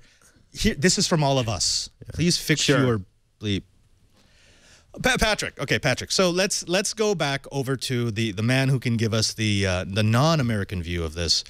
Uh, I'm losing my cookies over this. Does this sound like as big of a story for you as it does for me? Um, I, I, think you might have a, a, slightly more vested interest in the story because that's your bread and butter. But uh, yeah, it, it's definitely scary. Um, I, the thing is, not being a, a, security expert, I'm kind of in the in, in the shoes of the guy who sees it on on you know uh, the eight o'clock news, and and he's being told, "Oh, holy poo, the, it's it's really horrible, and the world is gonna end." And I'm like, "Wait, what? It, what should I what should I do? Like, what's happening? Uh, can I can I be safer by doing something?" So it's yes. Really stop scary. using the internet. well, there you have it. Our advice to you is turn off the internet right now. I Let's all go that's home. The lesson from this episode. Sorry. Stop using the internet. Um, but yeah, no, it's it's it's definitely scary for us too. We we use um, we use uh, uh, you know PDFs all the time, and it's it's ubiquitous uh, and international. So yeah, to answer your question, scary for us as well. Now, Patrick pulled up a security bulletin from Adobe saying that they're going to be releasing a patch in a oh, few yeah. days. My question oh, is, please. how do you patch this? They have the source well, code. You can't unless you oh, no, rewrote no, no. the they, program. They didn't say they didn't say it would actually fix anything. They just wanted you to know that there's, there's a patch, a patch. that'll be coming out soon. It, it's going to make your images clearer. It has nothing to do with this thing. Well, yeah, update. Uh, yeah, basically update. Uh, yeah, check for updates on October 8th. That's all I'm going to say. For Adobe Reader and Acrobat 11. This is honestly, this is one of those things where you cannot, you cannot patch this. If if they have the source code, unless you're rewriting the Let's entire rewrite software. It from scratch. Uh, well, Sure. unless they found something in the source code that they need to fix. Oh wait, unless they're saying, okay, so we finally started going through our source code and we found all those holes, so we're going to fix them before they they get to them. I don't know. I don't yeah, well, it's it's it's funny. Like the the Adobe Secure Software Engineering team, the ASSET blog, they also say it's kind of funny. Like at the same time, they're saying on October second, we are not aware of any zero day exploits targeting any Adobe products. Adobe announces that they will be doing security patches for their products. So um, you, you it could Go Adobe. So clean that code. How is it? How is it different? Get how well it soon. Different from Like, other guys, zero-day um, exploits. Okay, okay. Well, no, actually, it's a great question. How is this different from other zero-day exploits? The reason, the way that this is different is because when we're talking about a zero-day day exploit, it's typically it's been created by a couple of sec- I'll call them security researchers who have been hammering at a service until they find a hole. They find a way either to overload the stack so they can inject their own code, or they've just found a, some sort of weakness in the way that data is transferred to and from the service. This is different because they're not attacking. They're not hammering at it. They actually have the blueprints. It would be like the difference between someone breaking into a building by going and checking all the windows if they're open and someone actually having the blueprints from the building so they know, oh, there's an access shaft down there I can get through. That's Sure, that's what once, we're looking at. Once you see they're in the building, you can go and lock that access shaft in the same way that you would, you know, closing the window that was open, couldn't you? Well, yeah. but I mean, they don't know which of the thousand different ways to approach this building are going to be used by the attackers. That's, so you mean that's what the we're the the, at. quant- the quantity and the the the ease with which uh, people who want to exploit these uh, these these issues in the software is what makes this dangerous. Correct. There's, there's going to be more and possibly better hidden uh, attacks. Right. Oh, put it. Put it, how about this? Here's here's a better way to think about it. If I'm going to run a standard exploit against a service, I have to try ten thousand different things before I get the one thing that works. Right. And so. If I'm a good security person, I'm actually looking at all those attempts and I realize, okay, something's brewing, something's someone's trying to get in.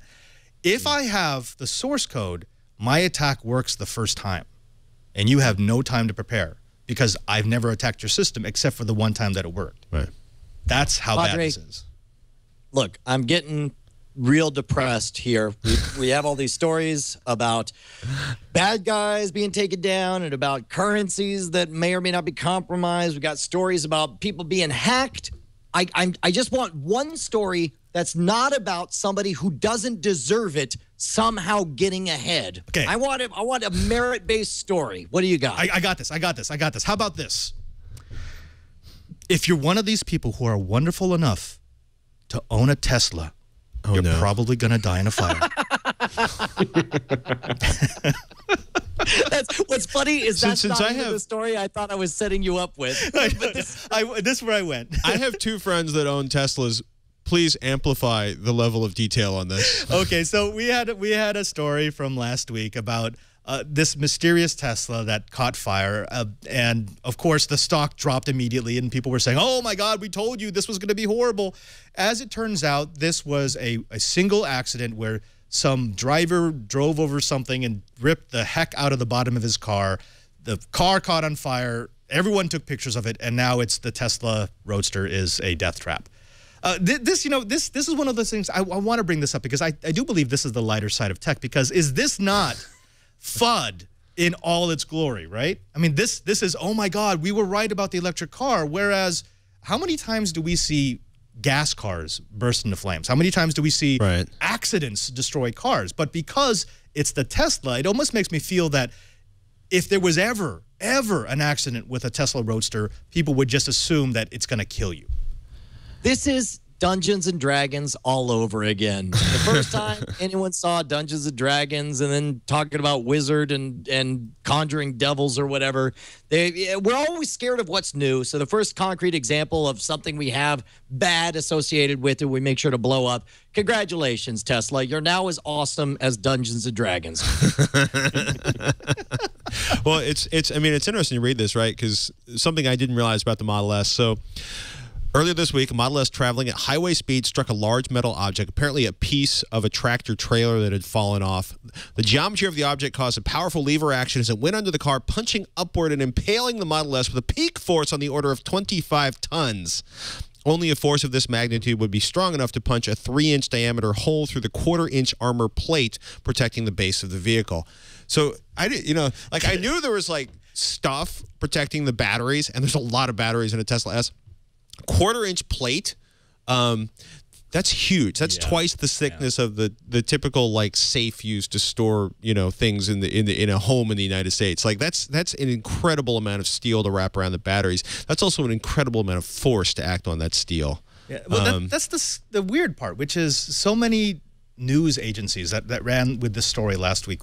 They were making it out as if, oh well, you know, they just hit something on the road, you know, you know, a broom, uh, you know, bucket, and it's like, no, this was a this is a shard of this was a tank killing shard of steel that got pivoted under the car and ripped into the battery pack. And yeah, in in that instance, that battery pack is going to catch fire. But I, I Well, think and and and while we're while we're on this subject, uh, Padre, like, what do you think of the fact that uh, Elon Musk uh, personally responds to all of these things? Per, earlier, we saw Elon Musk respond to a bad review that uh, somebody gave of the of the Model S, uh, saying that it that it died mid travel, and of course, he dissected the data to go back and essentially call the guy a liar. Uh, and the fact that the that that Elon is personally responding to you know with explanations over Twitter and of course press releases explaining exactly what happened and pointing out uh, quite correctly that he said, look, if we're going to compare apples to apples, uh, you know, um, uh, I, I forget the number. I'm probably wrong here, but he said that that gas cars are you know 20 times more likely to explode in a collision or whatever. Right, right. You know, Well. here, here's the thing. There's there are those who are saying, wait a minute, Elon Musk is he's acting like the Five irresponsible times. CEO. There you go. Five times more likely. Right. I mean, they, so they say, oh, he should just shut up. He should let us PR people handle this. It's not the job of the CEO to go out there and jump on every negative story about about his product. Uh, but and I'm only going to speak for myself right now because previously I had been speaking for the entire Catholic Church, but now it's just it's just me. but I love Now seeing you tell this. me. I, I love seeing this kind of engagement. He is obviously a geek. He is obviously Mm-hmm. passionate about this. And so I like it when he actually mixes it up with people and says, wait a minute, wait a minute, wait a minute, back off for a second. I know it's fun to point fingers, but before you do that, let me give you the real data, either about the review. Let me let me show you what the computer said about his battery use, or this, let me show you what actually penetrated the car.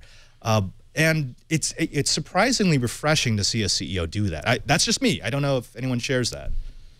Oh, absolutely. it's- I mean, I, I mean, I agree. Look, I mean, uh, Elon Musk is our real life Tony Stark, and I love the fact that we live in a world where he feels appropriate to jump in and and, and call stuff out on that. Um, uh, you know, and, and he's right by the numbers. I mean, he gave the numbers. Uh, was he said um, uh, over 150,000 car fires per year, one vehicle for every 20 million miles, and one fire in over 100. Uh, you know, basically he, he lays it out. It's like, you know, his cars by the numbers, and granted the sample size is smaller, is five times safer as far if you're worried about explosions than gas vehicles. Yeah, yeah.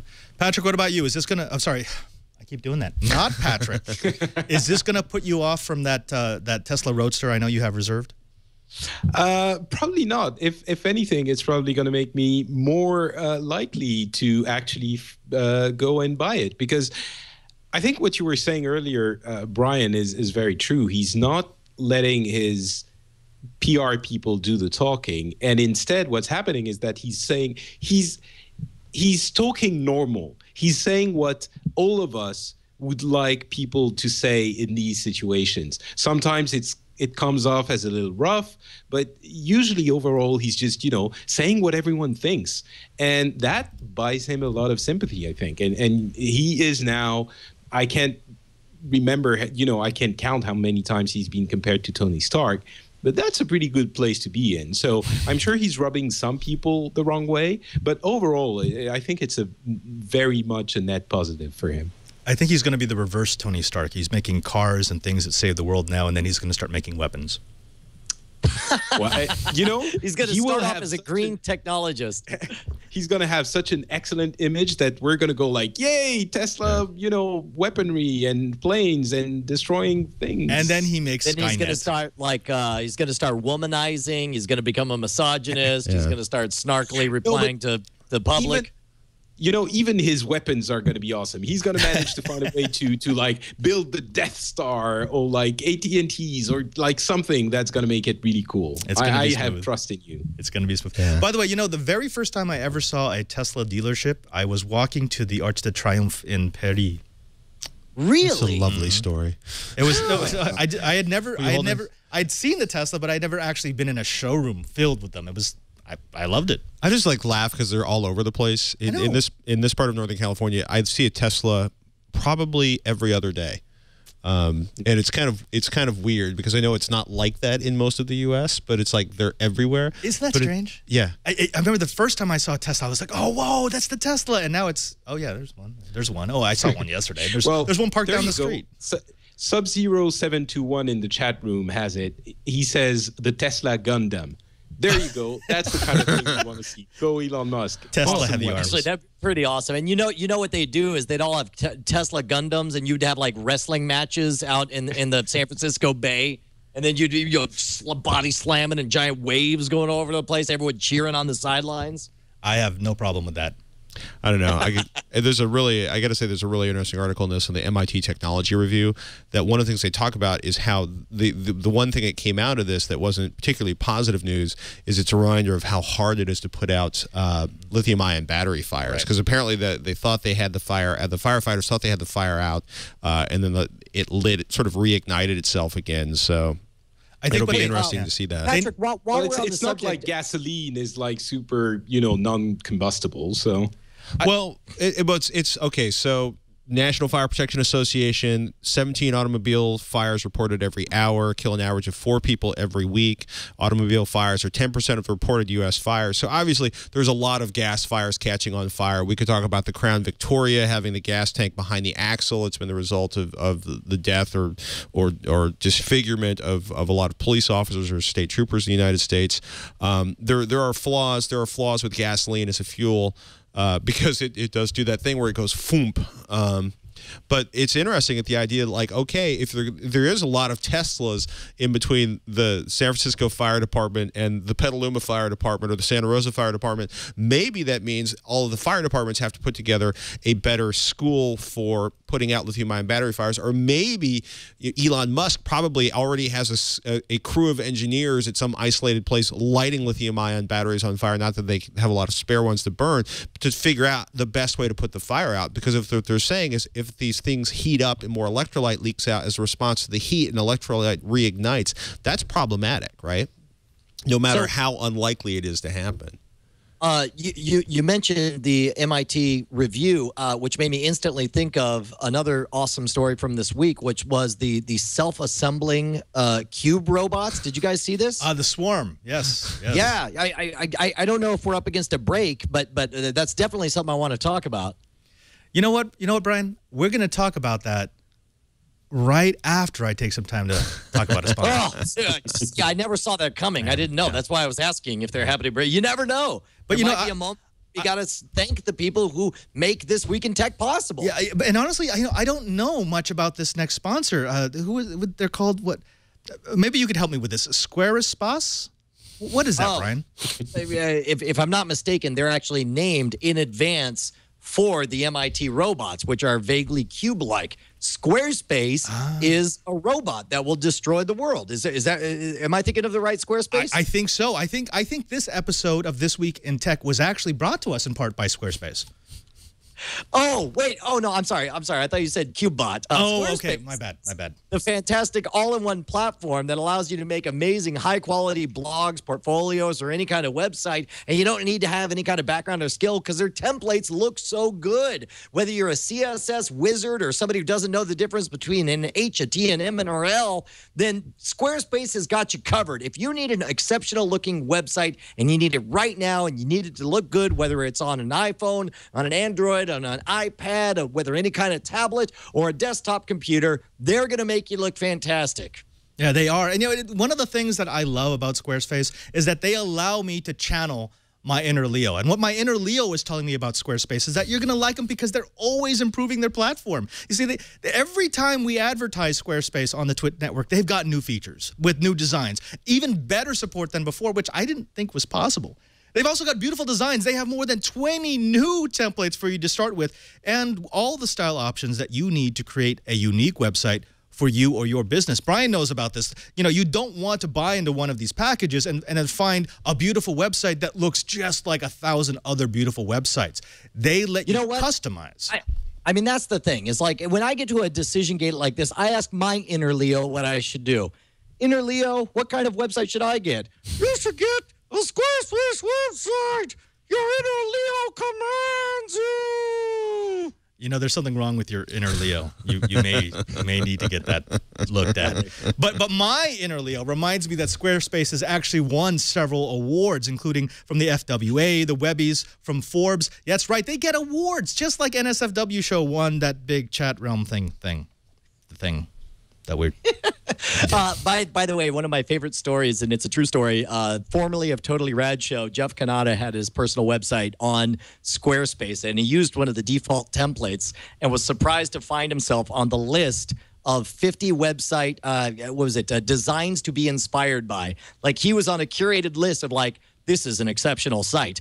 And they didn't know that he had just used a default uh, template from Squarespace. Uh, yeah, yeah, and you know one of the other things that I like about Squarespace is you don't have to be a programmer. It's it's really that easy to use, and they're inexpensive. In fact, I think they're only about eight dollars a month, which which you know puts them right in that that realm of possibility for even the most novice, the most simple, the most basic user of web services. It's incredibly easy to use, but you know what? If you want some help, Squarespace has a support team that will work with you 24 hours a day, seven days a week. And that $8 plan I talked about, that includes a free domain name if you sign up for a year. So basically, it's a wash with trying to do it yourself. Why would you do it yourself if you could get an entire team of experienced professionals behind you? You, you know, Keep Brian. in mind. Yeah. Here's the best part about Squarespace is they use distributed hosting. So if your site suddenly becomes super popular, or better yet, if somebody tries to like DDoS you, they're gonna find that they just walked into a club made of diamonds. They, they're gonna be in some kind of diamond club, and they won't be able to permeate the walls. They can't take them down. That's the strength of the diamond club. Yeah, and you know what else that Diamond Club does? It does search engine optimization automatically. You may know that that ah. SEO thing. Yeah, yeah. It's how you get Yeah, found on the internet. Yeah. And with Squarespace, they, they they advertise for you. They ensure that your site's content can be found under the search terms that it needs to be found. So so if you are, you know, part of that club that's kind of diamondy, you don't have to go and pay another service to do your engine your search engine opti- optimization. It's built into the package.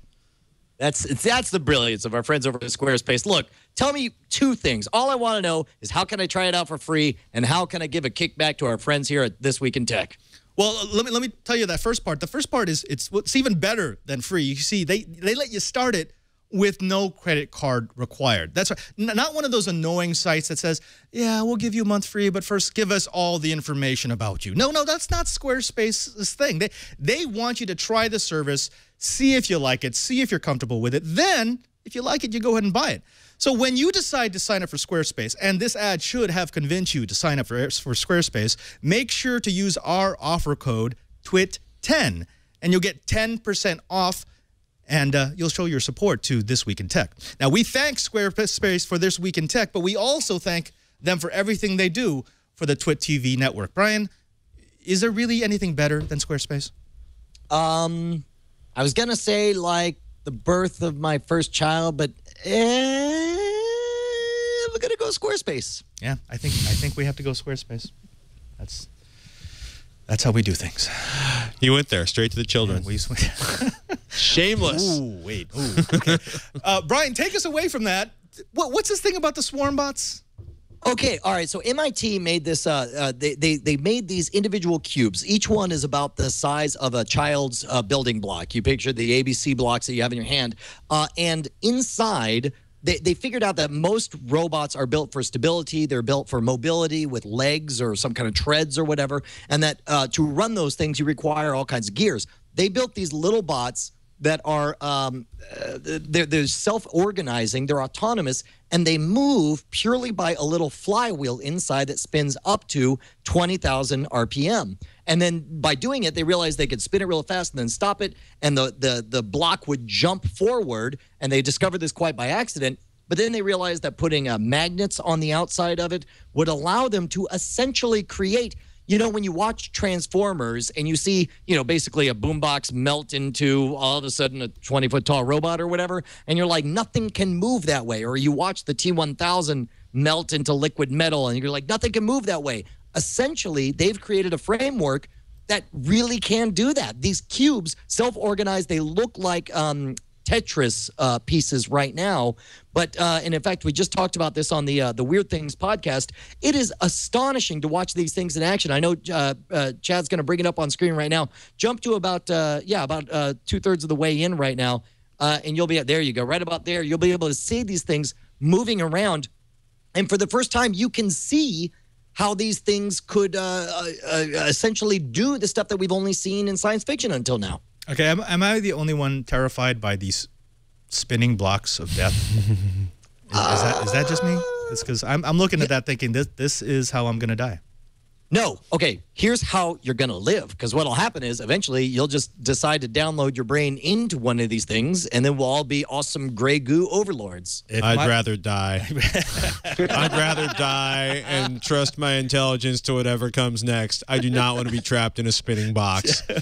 Actually, I, I feel like I am trapped in a spinning box, so that wouldn't be that much of a difference. Oh. oh I always love I love stories like this because you know, especially when you've got students who are who are just messing around, they've come up with these concepts that someone is going to use this. This idea of a self-assembling robot of robots that can create structures with very simple mechanisms. This is going to make its way into some product that eventually will click, and someone will say, "Oh, that's right. Why didn't we think of that before?" Uh, yeah, yeah it's really astonishing, and, and, maybe, and, and maybe not. Yeah, maybe it's, not. I mean, yeah. it is it is astonishing. It is definitely something that is super interesting. I mean, to look at it, they look alive. And I guess that's what mm-hmm. makes it especially enticing for us. It, it's technology that really looks, it's not a robot, it's just a box, but it does look somewhat alive. Uh, it, it, there's a really, really, really, really, really, really long way from this to something actually useful though. This is fundamental research almost. Uh, and and it could be i'm playing devil's advocate here sorry but it could be that this just remains jumping boxes and it turns into you know a children's toy and nothing more. Um, i don't really see how these uh, boxes could become something you know you would need to have mechanisms and like for them to do something else it, they would need to have a lot more on board or like to assemble into different geometric forms that could move in unison. Uh, it, it's very very early on and i don't want to yeah. be the, the the grouch here but i could see this become awesome. I could also see this become just you know nothing. You know what brian I, I now agree with not Patrick. This story is bad, and you should feel bad. yes. I'll tell you what. You say that, I'm going to send my army of 100,000 cube bots to absorb you. okay. Let, us move on to something else that I think is awesome that is probably also going to be shot down by our, our, our esteemed not Patrick. And that is, guess what they're selling at IKEA now? Solar panels. Uh, Wait, Qbots? Well, yes. So Qbots that put themselves into solar panels. Now, this is only happening across the pond. It's in 17 British stores. They're talking about uh, a couple of Chinese-made systems that will sell for roughly $9,200. The idea is now that you can walk into IKEA and in the same aisle that you buy your USK which is some sort of desk, you get to buy a system that will go up on the roof and provide at least partial power to your house. Now, this is something that people predicted about solar in the United States so long ago that you would be able to buy and walk into a Best Buy and buy something that will help to remove yourself from the grid, but it never materialized for any number of reasons, including a lot All of right. regulation. Why is this uh, now possible in, in, in British stores? I mean, uh, to be honest, there's only one thing I care about. Like, do they actually do anything? Are you spending $100 so you can save $9.35 on your overall electric bill? This is conspicuous consumerism. And obviously, uh, this is what happens when you have. Uh, Oh, oh, no, no. No, all right, go no. on. Lay it on me, Patrick. Okay, What do you first got? of all, first of all, they're talking about with the with the what's available in terms of purchasing subsidies in in the UK. You're talking about um, a seven year payoff Wait, so- on a product that should have a 30 year lifespan, right? All right, all right, no, no, no. Uh, you, you said you said subsidies though, right? Well, okay, even if it's not, even if it's full nine thousand dollars, I think it takes it up to ten year payoff for a product with a thirty year lifespan. It's like, like on one hand, I get what you're saying, like, oh God, just we need somebody else spending hundred thousand dollars on an electric car to prove how green they are because they're using coal generated electricity in their giant lithium ion packed vehicle to move without fossil fuels through the Yes, highways. Yes, that's exactly what I'm worried about. No, give me. You got to remember something. I live in Northern California. I drive a 7,000 pound, three quarter ton diesel truck, but I'm running biodiesel, which is actually domestically produced from recycled freaking Frito Lay potato chip oil, which means I have a lower footprint in terms of actual carbon energy consumption than a freaking Prius because my fuel has pulled the carbon out of the air recently. Take that back off, lady. Just, I'm going to go hug a tree. I'm doing it in my own way, and my way isn't a Prius. My way can pull an Airstream. Now that I've had my Northern California rant out of the way, I do believe in solar cells. I do believe in solar energy. I do believe in the Million Roof Initiative here in California because the idea anytime you take digging stuff out of the ground to produce energy, you've done something positive. It may take a while to pay off. You should do the math. You should investigate the company that's offering to do this. But I like the idea of actually self containing energy inside of a home. This is a good thing, Brian. Don't be all negative about it, please. Okay, what what? But here's what I'm saying: is there's the gap, think right? There's what you pay up front. There's the this point. environmental cost of the manufacture of the product. Right. It's it's easy to look at this kind of story and just say this thing be good. Why is America bad? Because and it's, like, uh, IKEA. How can IKEA? IKEA's just they're just warm and fuzzy. It's not like they create a lot of furniture that ends up in you wanna know landfills. why IKEA's bad? Is because you need a goddamn pirate treasure map to find your way out of the goddamn place. That is So- not okay. So your problem isn't. I feel like we're in therapy group. group. Let's all approach Brian with positive energy and bring Brian love. Brian, your issue really isn't with IKEA or conspicuous consumerism. It's the fact that you want to buy some obscure, bizarrely named thing and you can't find it in the big giant ass store. Is that right, Brian? Look, I, I think we've had a breakthrough here. I, I think what is interesting though is the idea that if it's if it wasn't you know you can kind of do a version of this with Costco in the United States where they have a partnership with a solar cell supplier and you spend 12 grand and you get a box full of solar panels and inverters and you can put that on the top of your house or better yet have an electrician with a clue put it on top of your house um, you know, it's just, it's just. I think the only reason this is news is because it's IKEA, so it means it's probably. What is its name? I mean, did they talk about its goofy Swedish name? A juice? A juice. I don't, It's, it's it should be called Juice that. box. Solar. And there's like a uh, slash through the O and Solar, and there's an umlaut over the A. I made all of that up. That's you It's can have that though. IKEA. No. no, but I think that's the idea. The idea is if it's made it into IKEA, then yes, it is con- it is consumer consumer consumable. But I think that's a good thing. I'm, I'm with Patrick here. You know, if you're bringing it into the realm of the consumer, of the person who's just making that buy because they think it's going to make their house better, it means it's no longer up in the stratosphere where only those who are either really rich or just really want to show off the solar system on top of their house can buy into this. Now, someone who says, wait a minute, okay, let me do the math here 10 years, three years, whatever it's going to be. After that, I get free power. I like that idea. I mean, how can you not like that? Well, uh, mainly because uh, we we oftentimes, and keep in mind, this is a long running thing. We're looking at 15 years now that we've had subsidies propping up the solar uh, industry, and and keep in mind.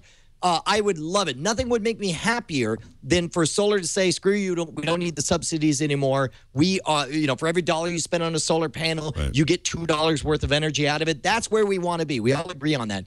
But, uh, but uh, it's it's difficult and, and it's very easy to come up with excuses what, with why solar isn't here. And the real reason is is because it's hard. It's hard to come up with something that's energy efficient, that's clean to create for the environment, that people can buy affordably. And if we could, somebody would just make it overnight and then we would all buy it. And of course, there's a messy process as we get here. And when I read a story like this that says, How come Europe can have magic solar panels that make everything rainbows and we can't? Uh, it's very easy to say, you know, because big oil and something about Dick Cheney. I, I, I hate that argument. It's a false But- but- dichotomy but- and it's Wait, idiotic. okay, okay, okay, Brian, Brian, Brian. Wait a second. Did anyone say because big oil and Dick Cheney? I think the story is just, hey, there are solar solar panels at IKEA. That's kind of cool. Uh, no, that's just it, Patrick. If that was the story, then I would be thrilled. But you'll notice the headline reads There's solar panels at IKEA in Europe. What's stopping them from coming to America? It's like, dude, it's I hate that stuff. Because we already Wait, have wait. a lot of options. Because we can buy them at Costco for less money. Okay, wait, hold on. Let, let me, let me let me be in the voice of neutrality here, uh, and not Patrick. I'm going to ask you this question, and that is, it's clear to me that so Patrick wants to save the planet and Brian wants to destroy the planet. Where do you fall in between Yes. that? um, well, I'm I'm married to to a Swedish Finn, uh, so I think I'm contractually obliged to side with uh, whatever IKEA is doing. So, um, Was that yeah, part I of the think I'm vows? I think so. as as we recited them, I think it was somewhere in there. You know, I vow Not to to everything obey, to love, and to I- buy solar. Yeah, Or You know, the, the, the the Nokia thing was already hitting us pretty hard in in my couple, so I really think I shouldn't say anything bad about IKEA. So yeah. Save a No, marriage, think- change the subject. I mean, honestly, I, I think IKEA. uh, What, what the fact that it's arriving at, at IKEA, it, it's obviously a test. Uh, you know, I don't think it has anything to do with big oil or or you know with Dick Cheney's evil plans to ruin the the planet. It's just that they're testing it in that market first, as many companies often do. And if it's super successful, I'm fairly sure they're gonna, you know, bring it over to other places. You know why? Because they like money. And if they sell, they're going to sell it to other people. So it's, I don't think there's anything nefarious there. And I didn't read the article, but if they're saying there's something nefarious, they're probably misguided. And I don't think either that these panels are, you know, magically uh, becoming better because they're they're uh, at IKEA. It's just that they're a little bit more uh, readily accessible, and that's probably a good thing for those who want to use them. I like. Oh, good. I was gonna say I like one of the comments in the chat room. There are rice soda pops in Chinese McDonald's. U.S. must wait. I mean, you know, Brian got totally. Brian Schwood got totally scammed on a title. You got sucked in on a title because it's like the second paragraph of this article is so benign, but it might be a while longer before their American counterparts will be able to do the same. Conspiracy. I think the LA Times trolled Brian. I think that's what happened. It, it, Dude, happens. it's not hard to tell, Brian. All you got to do is imply that someone thinks they're better than someone else. Like, what? You know, I, I, I just I'd like to say as before we move on that you three being married with kids and me being celibate, I'm more carbon neutral Well, than I any of you. Know that. Like, Okay, like, like we're I- all married to each other. I could drive a suburban around the city throwing coal out the window and I'd still be more carbon neutral. But than if you all just you. burn the car That's coal, right. that would pretty much fix it. Now, right after the break, we are going to come back and I'm going to wind up Brian once more because I have one more story that I'm sure is going to just do just Now- just like that, just like that. Brian, could, could you? What's what's that? I, I it's, it's like I didn't even know what you're up to, but you know how to get my goat, and I'm gonna go to the bathroom. Screw this. Okay, okay. While while Brian is taking care of his solar problem, I want to take some time to talk about GoToMeeting because they are a supporter of this week in tech. Now, if you've watched any of my shows, you know that I love GoToMeeting because we all understand that we need to meet. We need to talk to our colleagues, to our coworkers, to our customers. We need to have that face-to-face, eye-to-eye contact in order to get things done. But when you work in different offices, in different cities, in different countries, sometimes it's just difficult to get that face to face time, which is why we love GoToMeeting with HD Faces. It's the incredibly easy way to meet online and see each other in HD.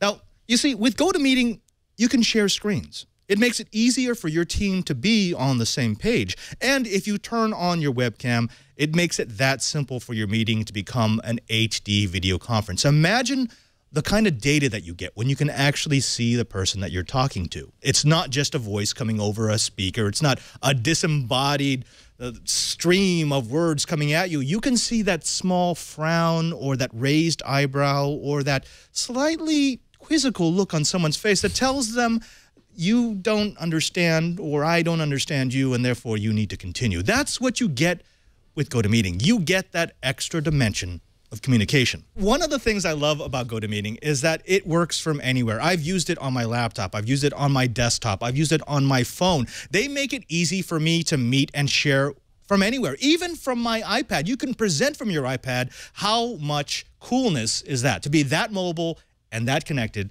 at the same time? I love GoToMeeting, and you know I mean it because I'm not just an endorser of the product. I use it on a daily basis. I, I use this product to talk with the dozens of people that I need to talk to in my real job around the country, around the world. I use GoToMeeting, and I love it, and I know that you will too. So here's what I want you to do. I want you to try GoToMeeting. I want to see if you're going to find it to be as valuable as I do. So to try GoToMeeting free for 30 days, visit GoToMeeting. Go visit GoToMeeting.com, click the Try It Free button, and use the promo code TWIT. That's GoToMeeting.com, promo code TWIT. GoToMeeting, meeting is believing, and we thank Citrix for their support of This Week in Tech. Guys, I want to bring it home with uh, one more story here. Brace yourselves. And um, I know. And it has, it has no. Brian's totally going to love this. I mean, I know he's he's right on board uh, with the fact that the FAA panel has suggested that they sort of relax the standards on turning off devices on airplanes because because you know I, I know Brian was a big proponent of having those devices off in the first place because he believes it's the government's place to make sure that we're all safe. So that cell phone, which could potentially down your 747 on its approach, well, it you know it, it was right that it was off. Brian, I mean, you're you're lamenting this decision, right? I mean, you're you're just. I just want to cry. This is the best news I've heard in my life. Hey, well, when did this happen? They said they say you can keep your devices on during takeoff and landing. No. not quite. The FAA received the report and recommendations today on the expanded use of personal electronic devices. FAA spokesman Les Dorr told Mashable in a mail on Monday. The administrator will review the report and determine next steps. Right. So essentially, they've said, you know what? Maybe we were a bit too strict. Uh, we should look at the policies again. So there's no there's no Right. recommendation saying, hey, you know what? If they want to start up a fax machine in the middle of takeoff, go ahead. But at least this is a step in the right direction. Yes. Padre SJ, let this be the day that goes down in history as the only day that a priest gave me false hope. Well, Only the day. hope is there. Wow. The hope is it's there. just, it's, It's pretty good average. hope. The yeah, it's here's the thing Uh, though. look- Okay, go ahead. Oh, the, the report does not recommend changing rules restricting activities that require a network connection, such as voice calls or data transfer. Those will likely remain off limits as rules for cell phone use on planes have been governed by the FCC since 1991. The advisory committee did suggest the FAA should work with the FCC to regress, or excuse me, reassess those restrictions as well. The Wall Street Journal reported. Yeah. I I, I, So- I like to read this story in concert with, uh, I believe it was three or four months ago, there was a researcher who showed that he could overpower the uh, the uh, navigation computer inside of a computer, if, if inside of a plane, if he had a transmitter in first class that was aimed towards that computer with enough power, he could actually send it false signals and take the plane off course. Now, I think we would all notice if someone had a big old satellite dish looking thing pointed towards the cockpit. But uh, you know what the FAA is essentially saying is, look, unless it's unless unless you're that guy, yeah, the device you bring on the plane, it's got no ability to cause any sort of crash or incident or accident. Well, yes and no. They're saying it should remain in airplane mode. You're you're not supposed to be using, you know, your your network data transmitting parts of your device. But how I mean- many of us? How many of us have accidentally left the phone on while Yeah, it taking off? happens. It's, It it's up in the overhead But, bin and okay. eh. No, that's can, a good can point. I say, like, uh, can I say that this story and this continuing story over the past, I don't know, two or three years, now I'm going to be the European guy. Oh, The- the- I mean, this is a very, I'm not going to say American, this is a very American centric thing. It's I understand this is this is an important topic and it needs to be discussed and yes, I want to be using my iPad for the 10 minutes and takeoff and landing that I can't use it. But I mean, come on, the proportion of coverage that this issue, using air quotes, has been getting on tech shows is ridiculous. Eh, yes, mention it here and there, but is it that big an issue in your lives that you that we need to discuss it every? Ah, I mean, come on. Do you, it's how, not how often do you fly? Patrick, Not yeah, that yeah. Do, do you realize, do. not Patrick, that the only reason I still subscribe to Wired magazine is because it's the only magazine that that I can read during that 10 minutes of takeoff and landing. And let me tell you, for the record, I do not approve of people leaving their iPads on inside their backpacks underneath the seat in front of them on 3G networks. I do not approve of people who leave their uh, iPhones on in their pockets and then only put on one earbud as they pretend to be asleep so they can continue listening to their audiobook during takeoff and landing. That's not okay because it's against the law. And we should no longer have to stand for that illegal behavior. So decriminalize Schwood. Maybe. I, I well see this this just confirms what I always knew about you, Brian. You I mean you are a big proponent of the nanny state. Oh, uh, I, I like I like chicks who dress up as nannies. That's kind of hot. That's really an overshare, Brian. I- we- it yeah, really we- is an overshare. Uh, let me let me find another story really quickly because uh, um, awkward. All right, all right. I, I, here's here's one story. It's actually semi-serious. Let's let's take it back, take it down a notch. Okay, we've we've had our fun with exploding cars and death rays on planes. You know, Twitter's going IPO, right? And so as Twitter goes IPO, there are some obvious comparisons between it and Facebook. Uh, one of the interesting things that just came out this last week is the CEO of Twitter saying, and I quote, "We are we are the anti-Facebook."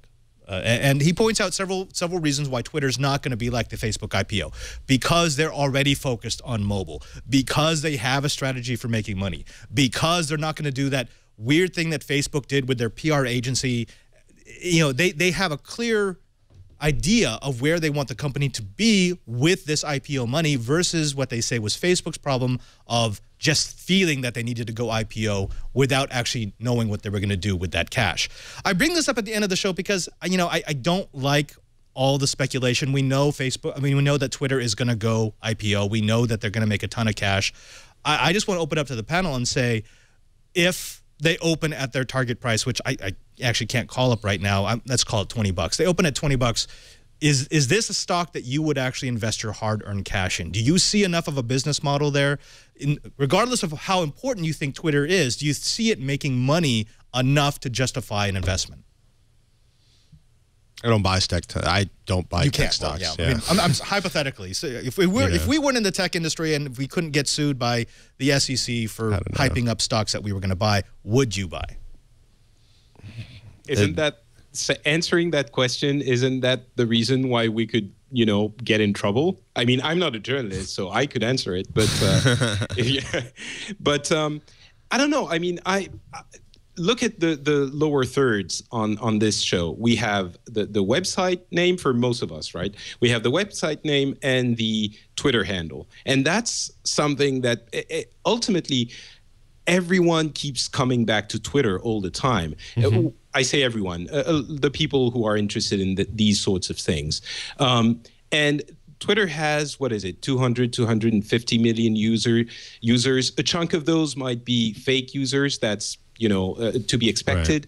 But I have a hard time imagining that uh, a, a mode of communication that has that many users that is so uh, ubiquitous now on in every aspect of the the in every aspect of the media on TV uh, and you know everywhere you see hashtags. I have a hard time thinking that this thing is not going to end up making money at some point. Uh, it's already making money, but it's not going to end up going up. Um, and it is already seeing nice trends in every metric.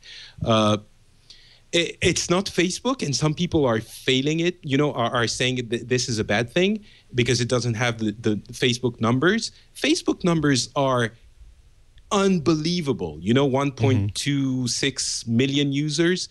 That is not something that you compare your service to because that doesn't. That it's unreal. But- Two hundred but you and fifty can- million users is not something to scoff at. So But you can compare the fact that when Twitter had its IPO, it was profitable, It- and more importantly, it had figured out how to crack, uh, how to sell to its audience. Twitter, uh, I, am sorry, Facebook. Facebook has figured out how to sell and make money. Twitter has never done that. Twitter has, uh, and it has a, a big problem. For example, that that article that um, uh, you put it in the doc, Padre, but the uh, uh, Twitter's fire hose problem the fact that the more people join Twitter and the more people you follow, the less valuable Twitter becomes and the harder it is to sell targeted ads. Uh, it is a real problem. And the fact that last quarter they lost, what was it like? I, I forget what the number is, but they lost money. Uh, these are big problems going into an IPO. Yeah, yeah. Last word on Twitter? No, kind of done with it. I don't know. I, I always thought the whole anti. Maybe I had just haven't read the right article, but it, to me, it seemed like the anti Facebook was Twitter trying to say, you know, if you buy at 38, it's not going to drop 20 percent before rising 88 percent like eight months later. It's it's uh, uh, you know, It's business speak. it's it, yeah, it's Wall Street. Yeah, it's Wall Street. It's a rigged game, man. But you know what's not Wall Street? Tom Merritt with his look at the week ahead. Hey, thanks, Father Robert. Here's a look at uh, some of the things we'll be keeping an eye on in the week ahead on Tech News Today. Monday, October 7th, MIPCOM kicks off. That's the conference where all the TV show and movie makers get together to try to sell their wares and more web stuff and more web companies have been showing up at that. Wednesday, October 9th is EmTech from MIT. That's an emerging technology conference. Thursday, October 10th, the Samsung Galaxy Note 10.1 tablet 2014 edition comes out in the United States. And Saturday, October 12th, Hak5 releases the next version of its Wi Fi Pineapple in Richmond, California, or live on YouTube. That's a look at the week ahead. Back to you, Father Robert. Thanks, Tom. You know, I want to thank all of our panelists. My gosh, this this has been a really fast two hours. I just realized we hit two hours. And I, want, I want to thank all of you for giving up a Sunday to to just reminisce with me about the the tech of the week. Yeah, uh, Patrick, I, I love whenever you're on the Twit TV network. Tell us where can they find your work and what are you doing? I'm sorry, not Patrick. oh, right. I was I was confused. I was like, he's looking confusing. at the screen, but Patrick is right in- next to him. What's happening? It's complicated, man. well, thank you very much for having me. First of all, it was a, it was a blast. Um, I do a bunch of podcasts in French. Uh, the latest of one is called Positron. Uh, you don't say it like this, but it's Positron in French. And uh, we just recommend some cool stuff like uh, movies, TV shows, uh, comic books, books. Uh, albums, music, uh, stuff like that. And it's just a, a fun 20 minutes with two friends, and it's really a, a, a joyful show. So I encourage, if you've been depressed by uh, This Week in Tech and you speak French, then go ahead and uh, find it on FrenchSpin.com. And if you want to find more of me, uh, you will be going to Twitter. My handle is, as you might have guessed, not Patrick. Thank you, Chad, for the coordinated uh, screen grabs. That's that we love. We love Chad. He's he's awesome like that. Of course, you could always find him at patrickbeja.com. Now, As well. the not not Patrick. Does that? Yeah, that's that's right. Is sitting right next to me, Uh, Patrick Norton. I mean, what what don't you do? You do this week in computer hardware on the Twit TV network. You do Tekzilla. Tell us what's coming up. What what are you going to be able to dazzle our viewers with? I'm going to dazzle you with actually a discussion of FreeNAS. Uh, it's coming up next week on uh, Tekzilla. We have um, something coming up on HD Nation. Oh, we've got the uh, the uh, Sonos soundbar. We're talking about on HD Nation, which is a show to do with Robert Heron. That was an awful lot of. There's a little autoplay on that website. Sorry about that. Um, and we just, uh, um, you know, I just did something and I can't remember what it is, but techzilla.com, T E K Z I L L A. And look, you can see the little uh, Discovery Digital Network underneath Revision 3 now. Yay! Yay! It's and Veronica fun. Belmont looking sassy Yeah. with the Yeah. two old guys. Oh, we got steps. We got we have our SAS quotient. Speaking of our SAS quotient, uh, a SAS quotient, a big part of that SAS squatch, SAS, quotient? Big part of that is Mr. Just keep Brian with Brushwood. it. Yeah, we'll just roll with it. Well, uh, Brian Brushwood, who is our, uh, you know, he's our resident scam school. Uh, th- did you call yourself a jackass once? I can't remember. Uh, it may be in my profile on Twitter, but you'll never find out what my Twitter handle is. In fact, I dare you to find me. I'll bet you can't ever find my Facebook, my Instagram, my Google Plus, or my Twitter. Oh! Curse yous. Fine. I'm live, and you can find me online, but I'm not going to say how. Audio listeners, you'll have to find it. Boo! I'm ashamed of being me. And cut. Worst lie you've ever told me. Now, uh, yo, I, I, I, I want to close out the show, but first, Chad's got to push this button that's going to show you what you missed if you haven't been watching Twit all this week. Previously on Twit. Gizwiz. This is called the Squatty Potty. How's it going back there? Not so good. I'd just like you to test this out here. How's it going for you in there now? OMG Craft. Ice, ice, icicle. Bye, bye, bicycle. Test, test, testing. One, two, three. This week in YouTube. Oh, whoa. wait, what? Before you buy. Get out of my camera. Sorry. Are you taking my space? It has, a, it has a screen on the back, but it doesn't allow you to see what's what's on your own like, thing. What? Like Wait I a want minute. to Wait a see myself while I'm taking a selfie. You're but- such a ham. All about Android. Chad, what's up? Hey, um, uh, every nothing, nothing, nothing. iPad today.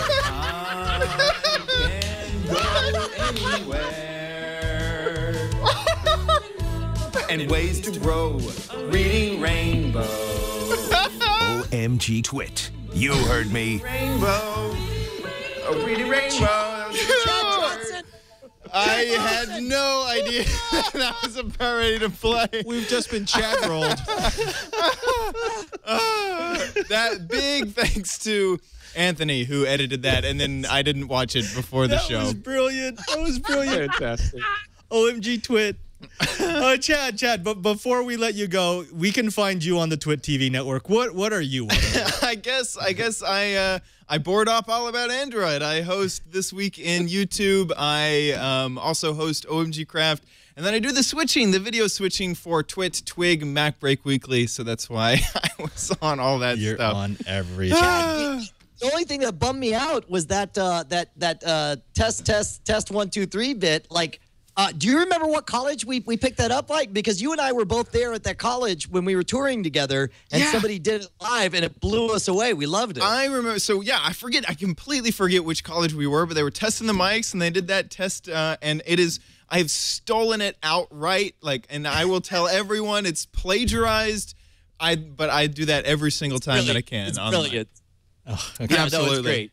Funny. Uh, and, and on that note, I think we have to close out. I, I'm, I'm actually Father Robert. You can find me Mondays he, here on no uh, uh, hmm, what shows do I TWiET TWiET on Mondays at noon. and Know How at three o'clock on Thursdays. But you know what? Just don't do that. Just go to Twitter and find me Padre SJ. Follow me, and you'll find all the different places that I pop up on the Twit TV network. Thanks to everyone, especially to to Chad, to Anthony, to Patrick, to Jammer B, to Burke, to our panelists, to Patrick, not Patrick, and some other guy also not named Patrick, and to the thousands of people currently in our studio audience, which is fantastic. I mean, I, I haven't seen a turnout like this. In fact, here, let yourself be heard. You know, they're so coordinated. They speak as if one voice, as Padre. if, as if Incredible. one or maybe or maybe two. I'm Father Robert Ballecer, the digital Jesuit, and another twit This is, is in the can. Oh my